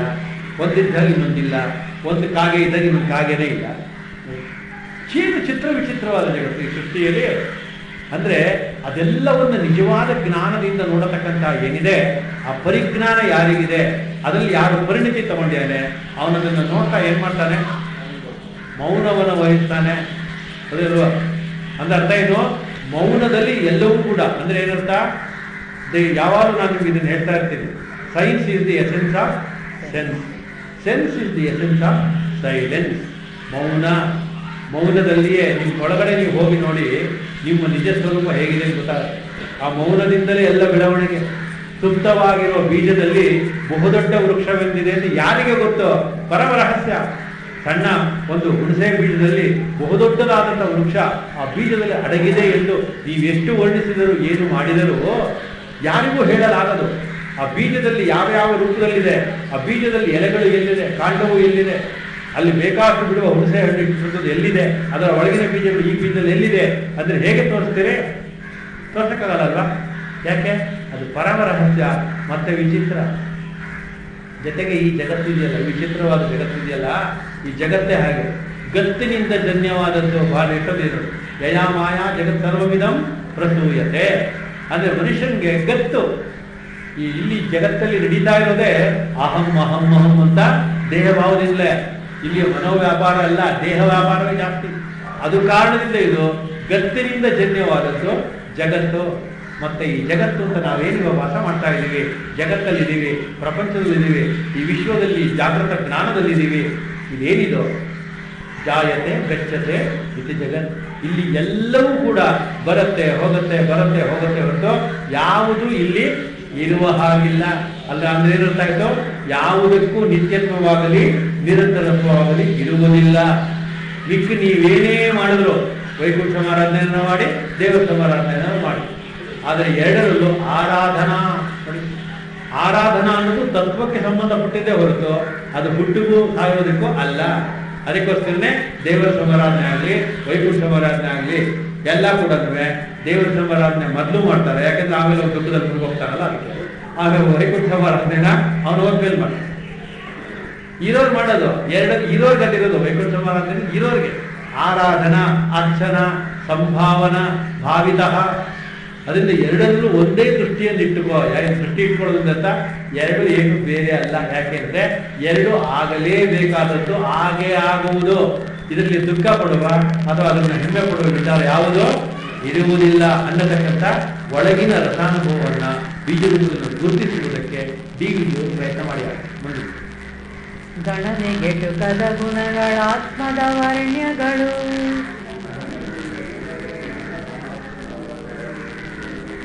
ಮನದ ದೇಹದ ಜೀವದೆಲ್ಲ ಕರಣಗಳ.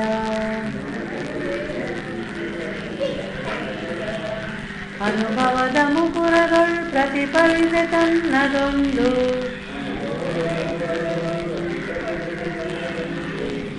ಅಣುವನುವೆ ಸುಂದರವು ಮಂಕುತಿಮ್ಮ. ಏನ್ ಪದ ಬಳಸ್ತಾರೆ ನೋಡಿ ಕನ್ನಡ ಭಾಷೆ ಅನ್ನೋದು ಅತ್ಯಂತ ಸಮೃದ್ಧವಾದದ್ದು. ಅದಕ್ಕೋಸ್ಕರನೇ ಅನುಭವದ ಮುಕುಟ ಕಿರೀಟ ಅಂತೆ. ಮನುಷ್ಯನಿಗೆ ಬಹುದೊಡ್ಡದಾದ ಹೆಮ್ಮೆಯ ವಿಚಾರ ಯಾವುದು? ಅವನಿಗಾಗುವ ಅನುಭವ, ಈ ಜಗತ್ತಿನ ಅನುಭವ. ಸೊ ಬೇರೆ ಜೀವಿಗಳಿಗೆ ಇಲ್ಲ ಈ ಅನುಭವದ ಅನುಭವ ಅಂದ್ರೆ ಅನುಭವದ ಕೊರತೆ ಅಂತ, ಅನುಭವ ಜ್ಞಾನದ ಕೊರತೆ ಅಂತ. ಆದ್ರೆ ಎಕ್ಸ್ಪ್ರೆಷನ್ ಇಲ್ಲ ಅದಕ್ಕೆ. ಅದನ್ನೆಲ್ಲವೂ ಅನುಭವದಲ್ಲಿ ಬಂದರೂ ಕೂಡ ಈ ಮನುಷ್ಯನಲ್ಲಿ ಈ ಮನುಷ್ಯನಲ್ಲಿ ಜೀವಕ್ಕೆ ಈ ಶರೀರಕ್ಕೆ ಈ ಜೀವಕ್ಕೆ ಈ ಇಂದ್ರಿಯಗಳಿಗೆ ಈ ಮನಸ್ಸಿಗೆ ಇಷ್ಟನ್ನು ಬಂದೇ ಒಳಗಡೆ ಅದೆಲ್ಲನೂ ಒಂದು ಸಂಗಾನವಿದ್ದಂತೆ ಅದೆಲ್ಲೂ ಒಂದು ಜೊತೆಯಲ್ಲಿರ್ತಕ್ಕಂಥ ಒಕ್ಕೂಟ ಹೇಗಿದೆ ನೋಡಿ.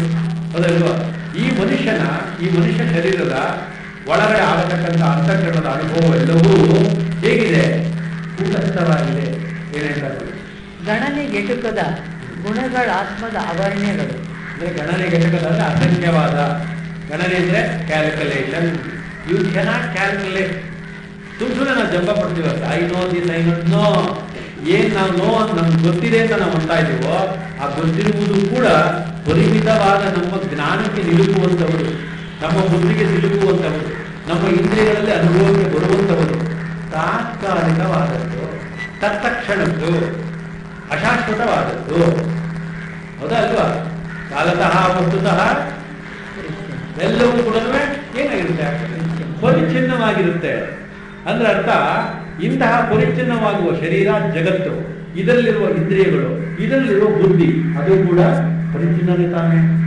ಅಂತ ಯಾವುದು ತಿಳಿದುಕೊಳ್ಳಬಲ್ಲಂತ ಯಾವುದು ಸಾಮರ್ಥ್ಯ ಇರುವ ಒಳಗಡೆಯ ಅಂತರಂಗದ ಆತ್ಮ ಬೆಳಕು ಇದೆ ಜ್ಯೋತಿ ರೂಪವಾಗಿದೆ ಜ್ಞಾನ ರೂಪವಾಗಿದೆ ಬ್ರಹ್ಮ ರೂಪವಾಗಿದೆ ಜ್ಞಾ ಸತ್ಯ ರೂಪವಾಗಿದೆಯೋ ಅದರ ಕಡೆಗೆ ನಿಮ್ಮನ್ನು ಕರ್ಕೊಂಡು ಹೋಗ್ತಾ ಇದ್ದಾರೆ. ಅದಕ್ಕೆ ಹೇಳ್ತಾ ಇದ್ದಾರೆ, ಇದು ಗಣನೆಗೆ ಸಿಗುವುದಲ್ಲ ಒಂದು ದಿನದ, ಎರಡು ದಿನದ ಪ್ರಯಾಣ ಅಲ್ಲ.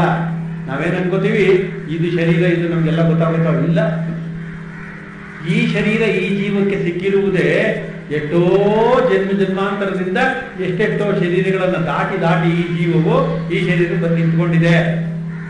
ಇದರಲ್ಲಿ ಯಾವ ಅನುಮಾನ ಕೊಡಲೇಬೇಡಿ. ಅನುಮಾನ ಇದ್ರೆ ಬೇಕಾದ್ರೆ ಡಿಸ್ಕಸ್ ಮಾಡಿ. ಪರ್ಸನಲ್ ಈ ಜೀವ ಇದೆಯಲ್ಲ? ನಾನು ನಾನು ಅಂತ ಈ ಜೀವಾತ್ಮ ಭಾವ ಇದೆಯಲ್ಲ? ಇದು ಇದು ಜೀವಾತ್ಮ, ಇದು ಶರೀರ. ಇಲ್ಲಿ ನಾನಿದ್ದೇನೆ ಅಂತ ಅರಿವಿಗೆ ಬರುವುದು ಕೂಡ ಯಾವಾಗ? ಮಾನವ ಶರೀರದಲ್ಲಿ. ಮಾನವ ಜನ್ಮದಲ್ಲಿ. ಇದೊಂದು ಫ್ಯಾಕಲ್ಟಿ ಮನುಷ್ಯಂಗೆ ಇರೋದು. ಅದಲ್ವ ಇದನ್ನೇನು ತೆಗೆದು ಬಿಸಾಕೋ ಆಗಿಲ್ಲ. ಯಾಕಂದ್ರೆ ಇದು ಪರಭಾಷೆಯಲ್ಲಿರೋದು ಇದನ್ನ ಬಿಟ್ಟಿರೋ, ಇದನ್ನ ಮರೆತಿರೋ, ಇದನ್ನೇನಾದ್ರೂ ನೀವು ಏನಾದ್ರು ಸರಿಯಾಗಿ ಇದನ್ನು ಉಪಯೋಗಿಸಿಕೊಳ್ಳಲಿಲ್ಲವೋ ಅವಾಗ ಯೋಗನೂ ಇಲ್ಲ ಉಪಯೋಗನೂ ಇಲ್ಲ ಪ್ರಯೋಗನೂ ಇಲ್ಲ.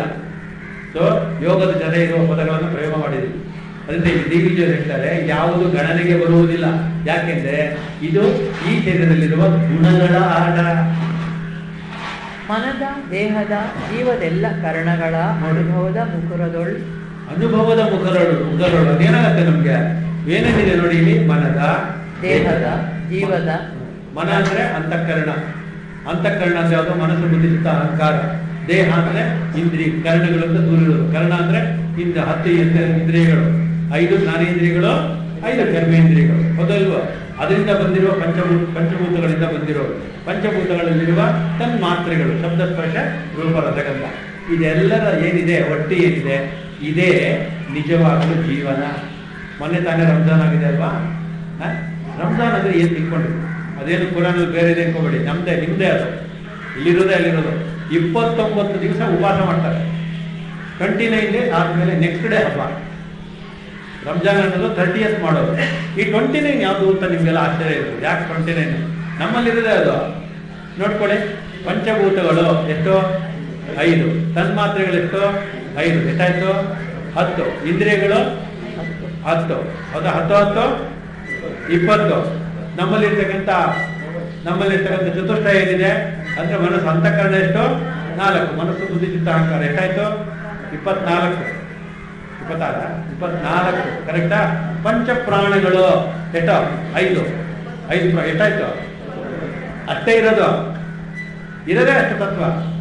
ಇಪ್ಪತ್ತೊಂಬತ್ತು ದಿವಸ ಉಪವಾಸ. ಅಂದ್ರೆ ಒಂದೊಂದನ್ನು ಒಂದೊಂದು ತತ್ವವನ್ನು ಕೂಡ ಇಪ್ಪತ್ತೊಂಬತ್ತು ದಿವಸ ಉಪವಾಸ ಅದರ ಹತ್ರ ಇದ್ದು ಅದನ್ನ ಚಂದದಲ್ಲಿ ಅರ್ಥ ಮಾಡ್ಕೊಳ್ಳಿ ಅಂತ ಪುರಾಣ ಹೇಳಿರೋದು.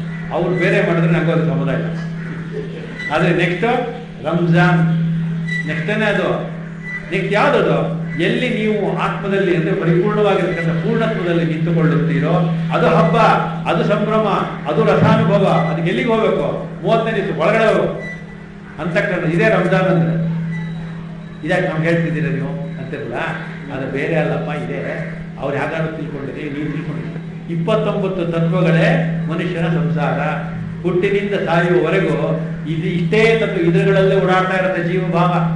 ಮನಸ್ಸು, ಶರೀರ ಅಂತಃಕರಣ ಮತ್ತು ಬಾಹ್ಯಕರಣ ಕರಣಗಳಲ್ಲಿ ಇದರ ವ್ಯಾಪಾರವನ್ನೇ ನಾವು ಜೀವನ ವ್ಯಾಪಾರ ಬದುಕು ಅಂತ ಬೇರೆ ಬೇರೆ ಹೆಸರಲ್ಲಿ ಕರಿತೀವಿ. ಇಲ್ಲೇ ಹೊಡೆದಾಟ ಇಲ್ಲೇ ಎಲ್ಲವೂ ಕೂಡ ಇದನ್ನ ಕ್ಯಾಲ್ಕುಲೇಟ್ ಮಾಡಲಾಗದು.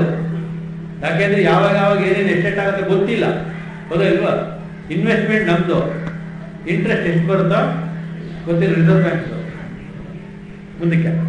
ಅನುಭವದ ಮುಕುರದೊಳ್ ಪ್ರತಿಫಲಿಸಿ ತನ್ನದೊಂದಣುವದುವೆ ಸುಂದರವು ಮಂಕುತಿಮ್ಮ ಇದೆಲ್ಲವೂ ಕೂಡ ಅನುಭವದ ಮುಖರದಲ್ಲಿ, ಅನುಭವ ಎಂಬತಕ್ಕಂಥ ಕಿರೀಟದಲ್ಲಿ ಪ್ರತಿಫಲಿಸೆ ಅಂದ್ರೆ ರಿಫ್ಲೆಕ್ಷನ್ ಅಂತ. ಹೌದಲ್ವಾ ನಿಮಗೆ ಒಳಗಡೆ ಹೊರಗಡೆ ಆಗತಕ್ಕಂಥ ಪ್ರತಿಯೊಂದು ಯುವರ್ ಓನ್ ರಿಫ್ಲೆಕ್ಷನ್ ಹೌದಲ್ವಾ ಮನ ಏವ ಮನುಷ್ಯ ನಮ್ಮ ಕಾರಣ ಬಂದ ಮೋಕ್ಷ. ಹೊರಗಡೆ ನಿಮ್ಗೆ ಆಗುವ ಎಲ್ಲ ಸುಖಗಳು ನಿಮ್ಮ ರಿಫ್ಲೆಕ್ಷನ್ ನಿಮ್ಗಾಗೋ ದುಃಖಗಳೆಲ್ಲವೂ ನಿಮ್ಮ ರಿಫ್ಲೆಕ್ಷನ್ ನಿಮಗಾಗುವ ಎಲ್ಲ ನಿಮ್ಮ ಜ್ಞಾನ ಅನುಭವಗಳು ನಿಮ್ಮ ರಿಫ್ಲೆಕ್ಷನ್ ಹೊರಗಡೆ ಕಾಣುವ ಹುಟ್ಟು ಸಾವುಗಳೆಲ್ಲವೂ ನಿಮ್ಮ ರಿಫ್ಲೆಕ್ಷನ್ ಹೌದಲ್ವಾ ಯೋಚನೆ ಮಾಡಿ. ಅಂದ್ರೆ ಸೂರ್ಯನ ಉದಯವಾಗುತ್ತಿದ್ದಾಗೆ ಸೂರ್ಯನ ಕಿರಣಗಳೆಲ್ಲವೂ ಈ ಜಗತ್ತಿನ ಮೇಲೆ ಪ್ರತಿಫಲಿಸಿದರೆ ಮಾತ್ರವೇ ಈ ಜಗತ್ತಿನ ದರ್ಶನ ನಿಮಗೆ. ಹೌದಲ್ವಾ ಬೇರೆಂತಿಲ್ಲ ಈ ಜಗತ್ತು ಸೂರ್ಯನ ಬೆಳಕಿಗೆ ಅಡ್ಡ ಬರುತ್ತದೆ. ಅಡ್ಡ ಬಂದಾಗ ಸೂರ್ಯನ ಬೆಳಕು ಇಲ್ಲಿ ಪ್ರತಿಫಲಿಸುತ್ತದೆ. ಆ ಪ್ರತಿಫಲನವೇ ಬೆಳಕು ಅಂತ ನಾವು ಕರೆದಿರೋದು ಬೆಳಕು ಅಂತ ಏನ್ ಅನ್ಕೊಂಡಿದ್ದೀರಿ ಸೂರ್ಯನ ಪ್ರತಿಫಲನವೇ ಬೆಳಕು the light in nothing but the reflection of sun so reflection ಅನ್ನು ಬೆಳಕು ಅಂತ ಕರೆದಿದ್ದೀವಿ. ಆ ರಿಫ್ಲೆಕ್ಷನ್ ನಾವು ಏನೇನು ಕಾಣ್ತೀವಿ? ಸಕಲ ಚರಾಚರ ವಸ್ತುಗಳನ್ನು ಕಾಣ್ತೀವಿ. ಅದೇ ರೀತಿಯಲ್ಲಿ ಒಳಗಡೆ ಈ ಜ್ಞಾನ ಭಾಸ್ಕರನಿದ್ದಾನೆ ಆತ್ಮನಿದ್ದಾನೆ ಅದರ ಪ್ರತಿಫಲನವೇ ಇದೆಲ್ಲವೂ ಕೂಡ. ಅದರ ರಿಫ್ಲೆಕ್ಷನ್ ಹೌದಲ್ವಾ ಮೊನ್ನೆ ಈ ರಿಫ್ಲೆಕ್ಷನ್ ಯಾವಾಗಲೂ ಏನಾಗ್ತಾ ಇರುತ್ತೆ? ಫ್ಲಿಕರಿಂಗ್ ಇದ್ದಂತೆ, ಬಂದಂತೆ, ಕಂಡಂತೆ, ಹೋದಂತೆ, ಬೆಳಕು ನೆರಳಿನ ಆಟದಲ್ಲಿ ಈ ಜೀವದ ಪ್ರಯಾಣ ನಡೆಯುತ್ತದೆ. ಯಾವಾಗಲೂ ನಡೀತಾರೆ. ನಾನು ನಾನು ಎಂದು ಹೆಮ್ಮೆ ಪಡುವ ಯಾವುದೂ ಈ ಜಗತ್ತಿನಲ್ಲಿ ಇಲ್ಲವೇ ಇಲ್ಲ. ನನ್ನದು ಅನ್ನುವುದಂತೂ ಖಂಡಿತ ಇಲ್ಲ. ಹೌದಲ್ವಾ ಇಲ್ಲದಿದ್ದರೆ ಅದು ಇದೆ ಇದೆ ಅಂತ ಏನಾದರೂ ನೀವು ಭ್ರಮಿಸುವುದಾದರೆ ನಿಮ್ಮ ಇಡೀ ಜೀವನ ಹೇಗಿರುತ್ತದೆ? ಧೃತರಾಷ್ಟ್ರ ಗಾಂಧಾರಿಯರ ದಾಂಪತ್ಯದಲ್ಲಿರುತ್ತಾರೆ. ನೀವು ಯೋಚನೆ ಮಾಡಿ, ಯಾರು ಸುಖ ಪಟ್ರು, ದುಃಖ ಪಟ್ರು? ಇಡೀ ಬದುಕಿನಲ್ಲಿ ಧೃತರಾಷ್ಟ್ರ ಅವನ ಹೆಂಡತಿ ಇಬ್ರು ಕೂಡ ಪ್ರತಿ ದಿನ, ಪ್ರತಿ ಕ್ಷಣ ಏನ್ ಪಡೆದಿದ್ದು? ದುಃಖವೇ? ನೀವು ಅವ್ನು ನಿಜವಾಗ್ಲೂ ಇದ್ರೋ ಇಲ್ವೋ? ಸೀರಿಯಲ್ ನೋಡಿ, ಯಾವತ್ತು ದೃಷ್ಟಾರ್ಥ ಗಾಂಧಾರಿ ಹೋದ್ರೆ ಗೋಳೆ. ಯಾವುದು ಸೀನಾರು ನೋಡಿ. ಹೌದಾ? ಯಾಕೆ ಹಾಗೆ? ಅದೆರಡೂ ಕೂಡ ಒಂದು ಹುಟ್ಟು ಕುರುಡ, ಇನ್ನೊಂದು ಆಮೇಲೆ ಪಟ್ಟಿ ಕುರುಡ. ಎರಡು ಕುರುಡ್ರ ಮದುವೆ ಆದ್ರೆ ಏನಾಗುತ್ತೆ? ಯಾವುದು ಕಂಡಿದೋ ಯಾವುದು ದರ್ಶನವಾದೀತೋ ಅದಲ್ವಾ ಸೊ ಅಂಥವರ ದಾಂಪತ್ಯದಲ್ಲಿ ಹುಟ್ಟುವುದೇ ದುರ್ಯೋಧನ ದುಶ್ಯಾಸನ ಸೊ ಎಲ್ಲಿ ಸುಖ? ಎಲ್ಲಿದೆ? ಅದಲ್ವಾ ಸೊ ನಮ್ಮ ಒಳಗಿನ ವಿಚಾರಕ್ಕೆ, ಅಂತರಂಗಕ್ಕೆ ನಾವು ಕುರುಡಾಗಿ, ಹೊರಗಡೆ ಕಣ್ಣು ತೆಗೆದರೆ ಏನು ನಿಮಗೆ ಆಗುವುದಿಲ್ಲ ಪ್ರತಿಫಲನ ಮಾತ್ರ ಇರುತ್ತದೆ. ಮೂಲದಲ್ಲಿರ್ತಕ್ಕಂಥ ಪ್ರತಿಫಲಿತವಾದ ಯಾವುದು ಮೂಲವೋ ಅದರ ದರ್ಶನವಾಗಬೇಕಪ್ಪ. ಮಂಕುತಿಮ್ಮ ಅಂದ್ರು ಡಿ ವಿಜಿಯವರು ಮುಂದಿನ ಕೊನೆಯದು. ಲಾವಣ್ಯವಾತ್ಮಗುಣವದರಿಂದೆ ಲೋಕ ಜನ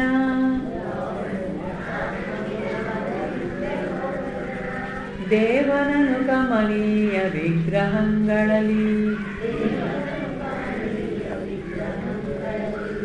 ಭಾವಿಸುತ್ತ ತಮ್ಮಿಷ್ಟ ಭೋಗಗಳನ್ನರ್ಪಿಸುವ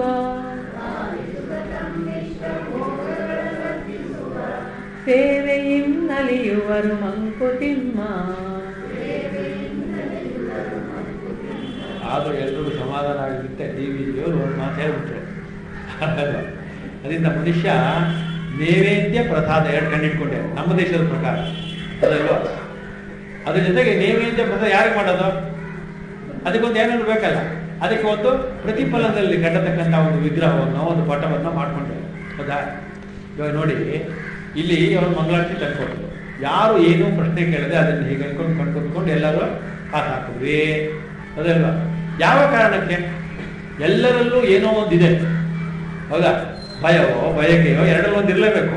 ಇಲ್ದಿರ ತಂದ ಇಲ್ಲ ಯಾರಾದರೂ ರೋಡ್ ತಲ್ಲಿ ಹೋಗಿರುವಾಗ, ಯಾರಾದ್ರೂ ನೀವು ಮುಂದೆ ಒಂದು ದೀಪ ಹಿಡಿದ್ರು ಅಂತ ಇಟ್ಕೊಳ್ಳಿ ಕಣ್ ಕೂತ್ಕೋತೀರಾ ಇಲ್ಲ. ಹಾ? ಹೊತ್ಕೊಂಡ್ರು ಜೋಬಿಂದ ಕಾಸು ಇಲ್ಲಿ ಸ್ಪೆಷಲ್ ಸ್ಪೆಷಲ್ ಅಂತ ಏನಿರುತ್ತೆ? ಅದೇ ದೀಪ, ಅದೇ ಇದು ಅದೇ ಇದು. ಅದು ಇಲ್ಲಿ ದೀಪ, ದೀಪವು ಮಂಗಳವಾದದ್ದು ಹೇಗೆ? ಎಲ್ಲಿ? ಪ್ರತಿಫಲನ ಆದದ್ದು ಎಲ್ಲಿ? ಇದು ಮಂಗಳಾರತಿ ಆಗಿದ್ದು ಅಲ್ಲೋ? ಇಲ್ಲೋ? ಇಲ್ಲಿ. ಅದ ಇಲ್ವಾ? ಅದರಿಂದ ಡಿವಿಜನ್ ಹೇಳ್ತಾ ಇದ್ದಾರೆ. ನಯನ ಮನೋಹರವಾಗಿರ್ತಕ್ಕಂಥ ಆ ಭಗವಂತನ ವಿಚಿತ್ರವಾಗಿರ್ತಕ್ಕಂಥ ಈ ಜಗತ್ತಿನಲ್ಲಿ ಆ ಪ್ರತಿಫಲನದ ಕ್ರಿಯೆ ಏನಿದೆ? ಜೀವ ಭಾವದ ಈ ಜೀವನಾತ್ಮನ ಈ ಒಡನಾಟ ಏನಿದೆ? ಈ ಜೀವನಾಟ ಏನಿದೆ? ಇದೊಂದು ಪಯಣ ಏನಿದೆ? ಈ ಬದುಕಿನ ವ್ಯಾಪಾರ ಏನಿದೆ? ಅದರಲ್ಲಿ ಒಂದು ಸೌಂದರ್ಯ ಇದೆ. ಅದನ್ನು ನೋಡುವ ದೃಷ್ಟಿ ಹೇಗೆ ಅನ್ನೋದು ಹೇಳ್ತಾ ಇದ್ದಾರೆ. ಲಾವಣ್ಯವಾತ್ಮಗುಣ ಲೋಕ ಲೋಕಜನ. ದೇವನನು ಕಮನೀಯ ವಿಗ್ರಹಗಳಲ್ಲಿ ಭಾವಿಸುತ್ತ. ಲಾವಣ್ಯ ಆತ್ಮಗುಣ ಅಂದರು. ಲಾವಣ್ಯ ಅಂದರೆ ಸೌಂದರ್ಯ ಅಂತ. ಸೌಂದರ್ಯ ಅನ್ನೋದು ಆತ್ಮದ ಗುಣ. ಅಂದ್ರೆ ಅದೇನು? ತತ್ವವು ಯಾವಾಗಲೂ ಅದು ಆನಂದವೇ ರಥಾನುಭವವೇ ಅದರಿಂದ ನಾವು ಯಾವುದನ್ನಾದರೂ ದುಃಖವೆಂದು ಅಂದುಕೊಂಡರೂ, ಸುಖವೆಂದು ಅಂದುಕೊಂಡರೂ, ಅದು ಇದರ ಪ್ರತಿಫಲನ ಮಾತ್ರ. ಆದರೆ ಅದರ ಹಿಂದೆ ಇರತಕ್ಕಂಥದ್ದು ಆನಂದ ಸ್ವರೂಪವಾಗಿರೋದ್ರಿಂದ ದೃಷ್ಟಿಯಲ್ಲಿ ಆ ಜ್ಞಾನಾನಂದ ಭಾವ ಇದ್ದರೆ ಮಾತ್ರವೇ ನಿಮಗೆ ಜಗತ್ತಿನಲ್ಲಿರುವ ಎಲ್ಲ ವಿಚಾರಗಳು ಆನಂದವನ್ನೇ ಕೊಡುತ್ತದೆ. ಸೊ ಯಾವಾಗ ನಿಮ್ಗೊಂದು ಮಾತು ಹೇಳ್ತಾ ಇದ್ದೆ ನಾನು. ನೀವು ಯಾರು ತೀರ್ಮಾನ ಮಾಡ್ಕೊಂಡ್ರೆ ಇಂದಿನಿಂದ ಇನ್ನು ನಾನು ಸಾಯುವವರೆಗೆ, ಅಂದ್ರೆ ಈ ಶರೀರ ಹೋಗುವವರೆಗೆ ನನಗೆ ಜಗತ್ತು ಒಂದು ಮನೋರಂಜನೆಯಾಗಿರಬೇಕು. ನನಗೆ ಬೇರೆ ಬೇಡ. I want my life to be entertain entertainment ಬೇಕು ನನಗೆ. ಅಂತ ತೀರ್ಮಾನ ಮಾಡಿದರೆ, ಆ ತೀರ್ಮಾನ ಹಾಗೇನೆ ನಿಮ್ಗೆ ಸಿಗುತ್ತೆ. ಆದ್ರೆ ಅದಕ್ಕೆ ಎರಡು ನಿಬಂಧನೆಗಳು ಸ್ಟಾರ್ ಕೆಳಗಡೆ ಟರ್ಮ್ಸ್ ಅಂಡ್ ಕಂಡೀಷನ್ ಅಪ್ಲೈ ಯಾರಿಗೆ ಬದುಕು ಎಂಟರ್ಟೈನ್ಮೆಂಟ್ ಆಗಬೇಕು ಅಂತ ಆಸೆ ಇದೆಯೋ ಅವರಿಗೆ ಯಾವುದೇ ಎಂಟ್ಯಾಂಗಲ್ಮೆಂಟ್ ಇರಬಾರ್ದು ತಿಳ್ಕೊಂಡು ನೋ ಅಟ್ಯಾಚ್ಮೆಂಟ್ ನೋ ಅಟ್ಯಾಚ್ಮೆಂಟ್ ಅಂತ ಏನಿರುತ್ತಾ? ಕೌಶಲ ಇರಬೇಕು. ಅಂದರೆ ಯಾರು ಎಲ್ಲರನ್ನೂ ದೂರ ಇಟ್ಬಿಟ್ಟು ದೂರ ಕಲಿಸ್ಬೇಕು ಆ ಥರ ವಸ್ತು ವ್ಯಕ್ತಿಗಳೆಲ್ಲ ಸಂಬಂಧ ಇರಬೇಕು. ಅದರ ಸಂಬಂಧದಲ್ಲಿ ಆಗುವ ಯಾವುದೇ ಸಂವೇದನೆ ಅಥವಾ ವಿರೋಧವಾಗಿರುವ ಭಾವನೆಗಳು ಅಂಟು ನಮಗಿರಬಾರದು. ಹಾಗಿರ್ಬೇಕಾದ್ರೆ ಏನು ಮಾಡಬೇಕು? ಎಂಟ್ಯಾಂಗಲ್ಮೆಂಟ್ ಇಲ್ಲದೆ ಇರಬೇಕಾದ್ರೆ ಎನ್ ಲೈಟ್ ಅಂತ ಇರಬೇಕು. ಅಂದ್ರೆ ಮಂಕುತಿಮ್ಮನ ಮೂಲಕ ಓದ್ತೀವಿ ಎನ್ಲೈಟನ್ಮೆಂಟ್ ಇದ್ರೆ ಯಾವಾಗ ಎಂಟ್ಯಾಂಗಲ್ಮೆಂಟ್ ಇಲ್ಲ ಎಂಟ್ಯಾಂಗಲ್ಮೆಂಟ್ ಇಲ್ಲದೆ ಇದ್ರೆ ಎಲ್ಲವೂ ಕೂಡ ಎಂಟರ್ಟೈನ್ಮೆಂಟೇ ಹುಟ್ಟು ಸಾವುಗಳು ಆಗಲಿ, ಯಜ್ಞ ಯಾಗಾದಿಗಳಾಗಲಿ, ಪೂಜೆ ಪುನಸ್ಕಾರವಾಗಲಿ ಅದಲ್ವಾ ಶ್ರಾದ್ದವಾಗಲಿ ಯಾವ್ದಾದ್ರಾಗಲಿ ನಮ್ಮಲ್ಲಿರುವ ಸಮಸ್ಯೆ ಏನು ಅಂದರೆ ಶ್ರದ್ಧಾ ದಾರಿದ್ರ್ಯ ಶ್ರದ್ಧೆ ಒಂದು ಇಲ್ಲದಿರುವುದರಿಂದ ನಮಗೆ ನಮ್ಮಲ್ಲೂ ನಂಬಿಕೆ ಇಲ್ಲ, ಗ್ರಂಥಗಳಲ್ಲೂ ನಂಬಿಕೆ ಇಲ್ಲ. ಬೇರೆಯವ್ರು ಹೇಳ್ತಾ ಇದ್ರೆ ಅವ್ರನ್ನೇ ಟೀಕೆ ಮಾಡ್ತೀವಿ. ಎಲ್ಲವನ್ನು ಕೂಡ ನಾವೇನ್ ಮಾಡಿದೀವಿ? ಆಧ್ಯಾತ್ಮ, ಅಧ್ಯಾರೋಪದಲ್ಲಿ ಅದಕ್ಕೆ ಕಾರಣವಾಗಿರುವ ಮೂಲಭೂತವಾಗಿರುವ ನನ್ನನ್ನೇ ನಾನು ಬರೆದು ಬಿಟ್ಟಿದ್ದೇನೆ ಮೈ ಮರೆತು, ತನ್ಮಯರಾಗಿ ಇರುವುದು ಬೇರೆ ತತ್ಪರರಾಗಿ ಇರೋದು ಬೇರೆ. ತನ್ಮಯನಾಗಿರೋದು ಅಂದ್ರೆ ನಾವು ಯಾವಾಗ ಸುಖ ದುಃಖಗಳಲ್ಲಿ ಹುಡುಕಿ ಓಡಾಡ್ತಾ ಇರೋದು ಒದ್ದಾಡ್ತಾ ತನ್ಮಯವಾಗುವುದು ಸಂಸಾರ. ತತ್ಪರನಾಗುವುದು ಆತ್ಮಾನಂದ ಅದರ ಆಧಾರದ ಮೇಲೆ ಎಲ್ಲವೂ ನಡೆಯುತ್ತೆ ಅನ್ನೋ ಪೂರ್ಣ ಜ್ಞಾನದಲ್ಲಿ ನಿಲ್ಲತಕ್ಕದ್ದು ಅದಕ್ಕೋಸ್ಕರ ಹೇಳಿದ್ರು ಮೊನ್ನೆಲೇನು ವಿಗ್ರಹಗಳಲ್ಲಿ ಭಾವಿಸುತ್ತಾ ತಮ್ಮಿಷ್ಟ ಭೋಗಗಳನ್ನು ಅರ್ಪಿಸುವ ಸೇವೆಗೆ ನಲಿಯುವರು.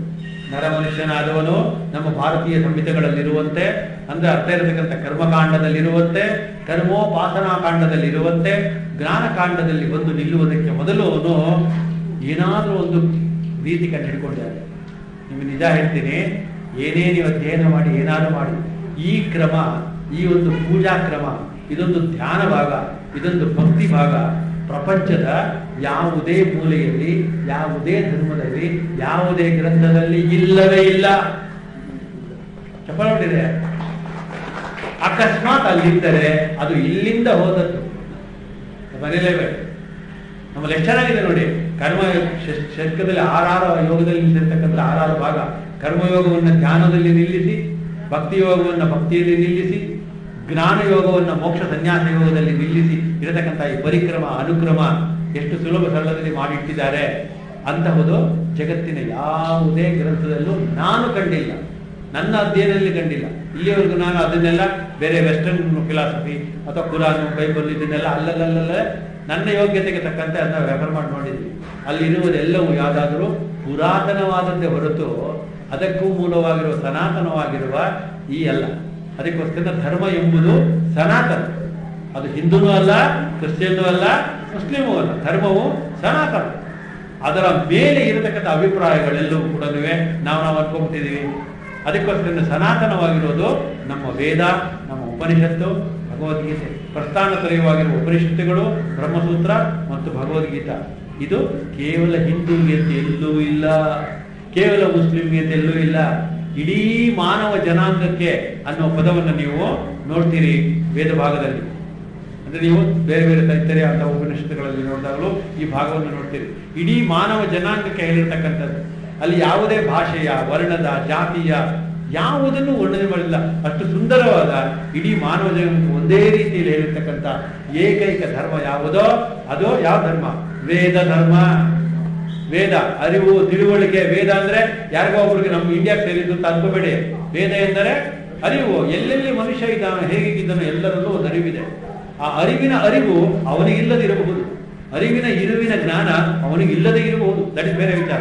ಅದು ಪ್ರಯೋಗದ ಭಾಗ. ಅದಲ್ವ? ಅದರಂತೆ ಇಲ್ಲಿ ಹೇಳ್ತಾ ಇದ್ದಾರೆ ಡಿ ವಿ ಜಿಯವರು ಇದೆಲ್ಲ ಏನಂತ ಅನ್ಕೊಂಡಿದ್ಯಪ್ಪ ಏನಂತ ಹೇಳಿ.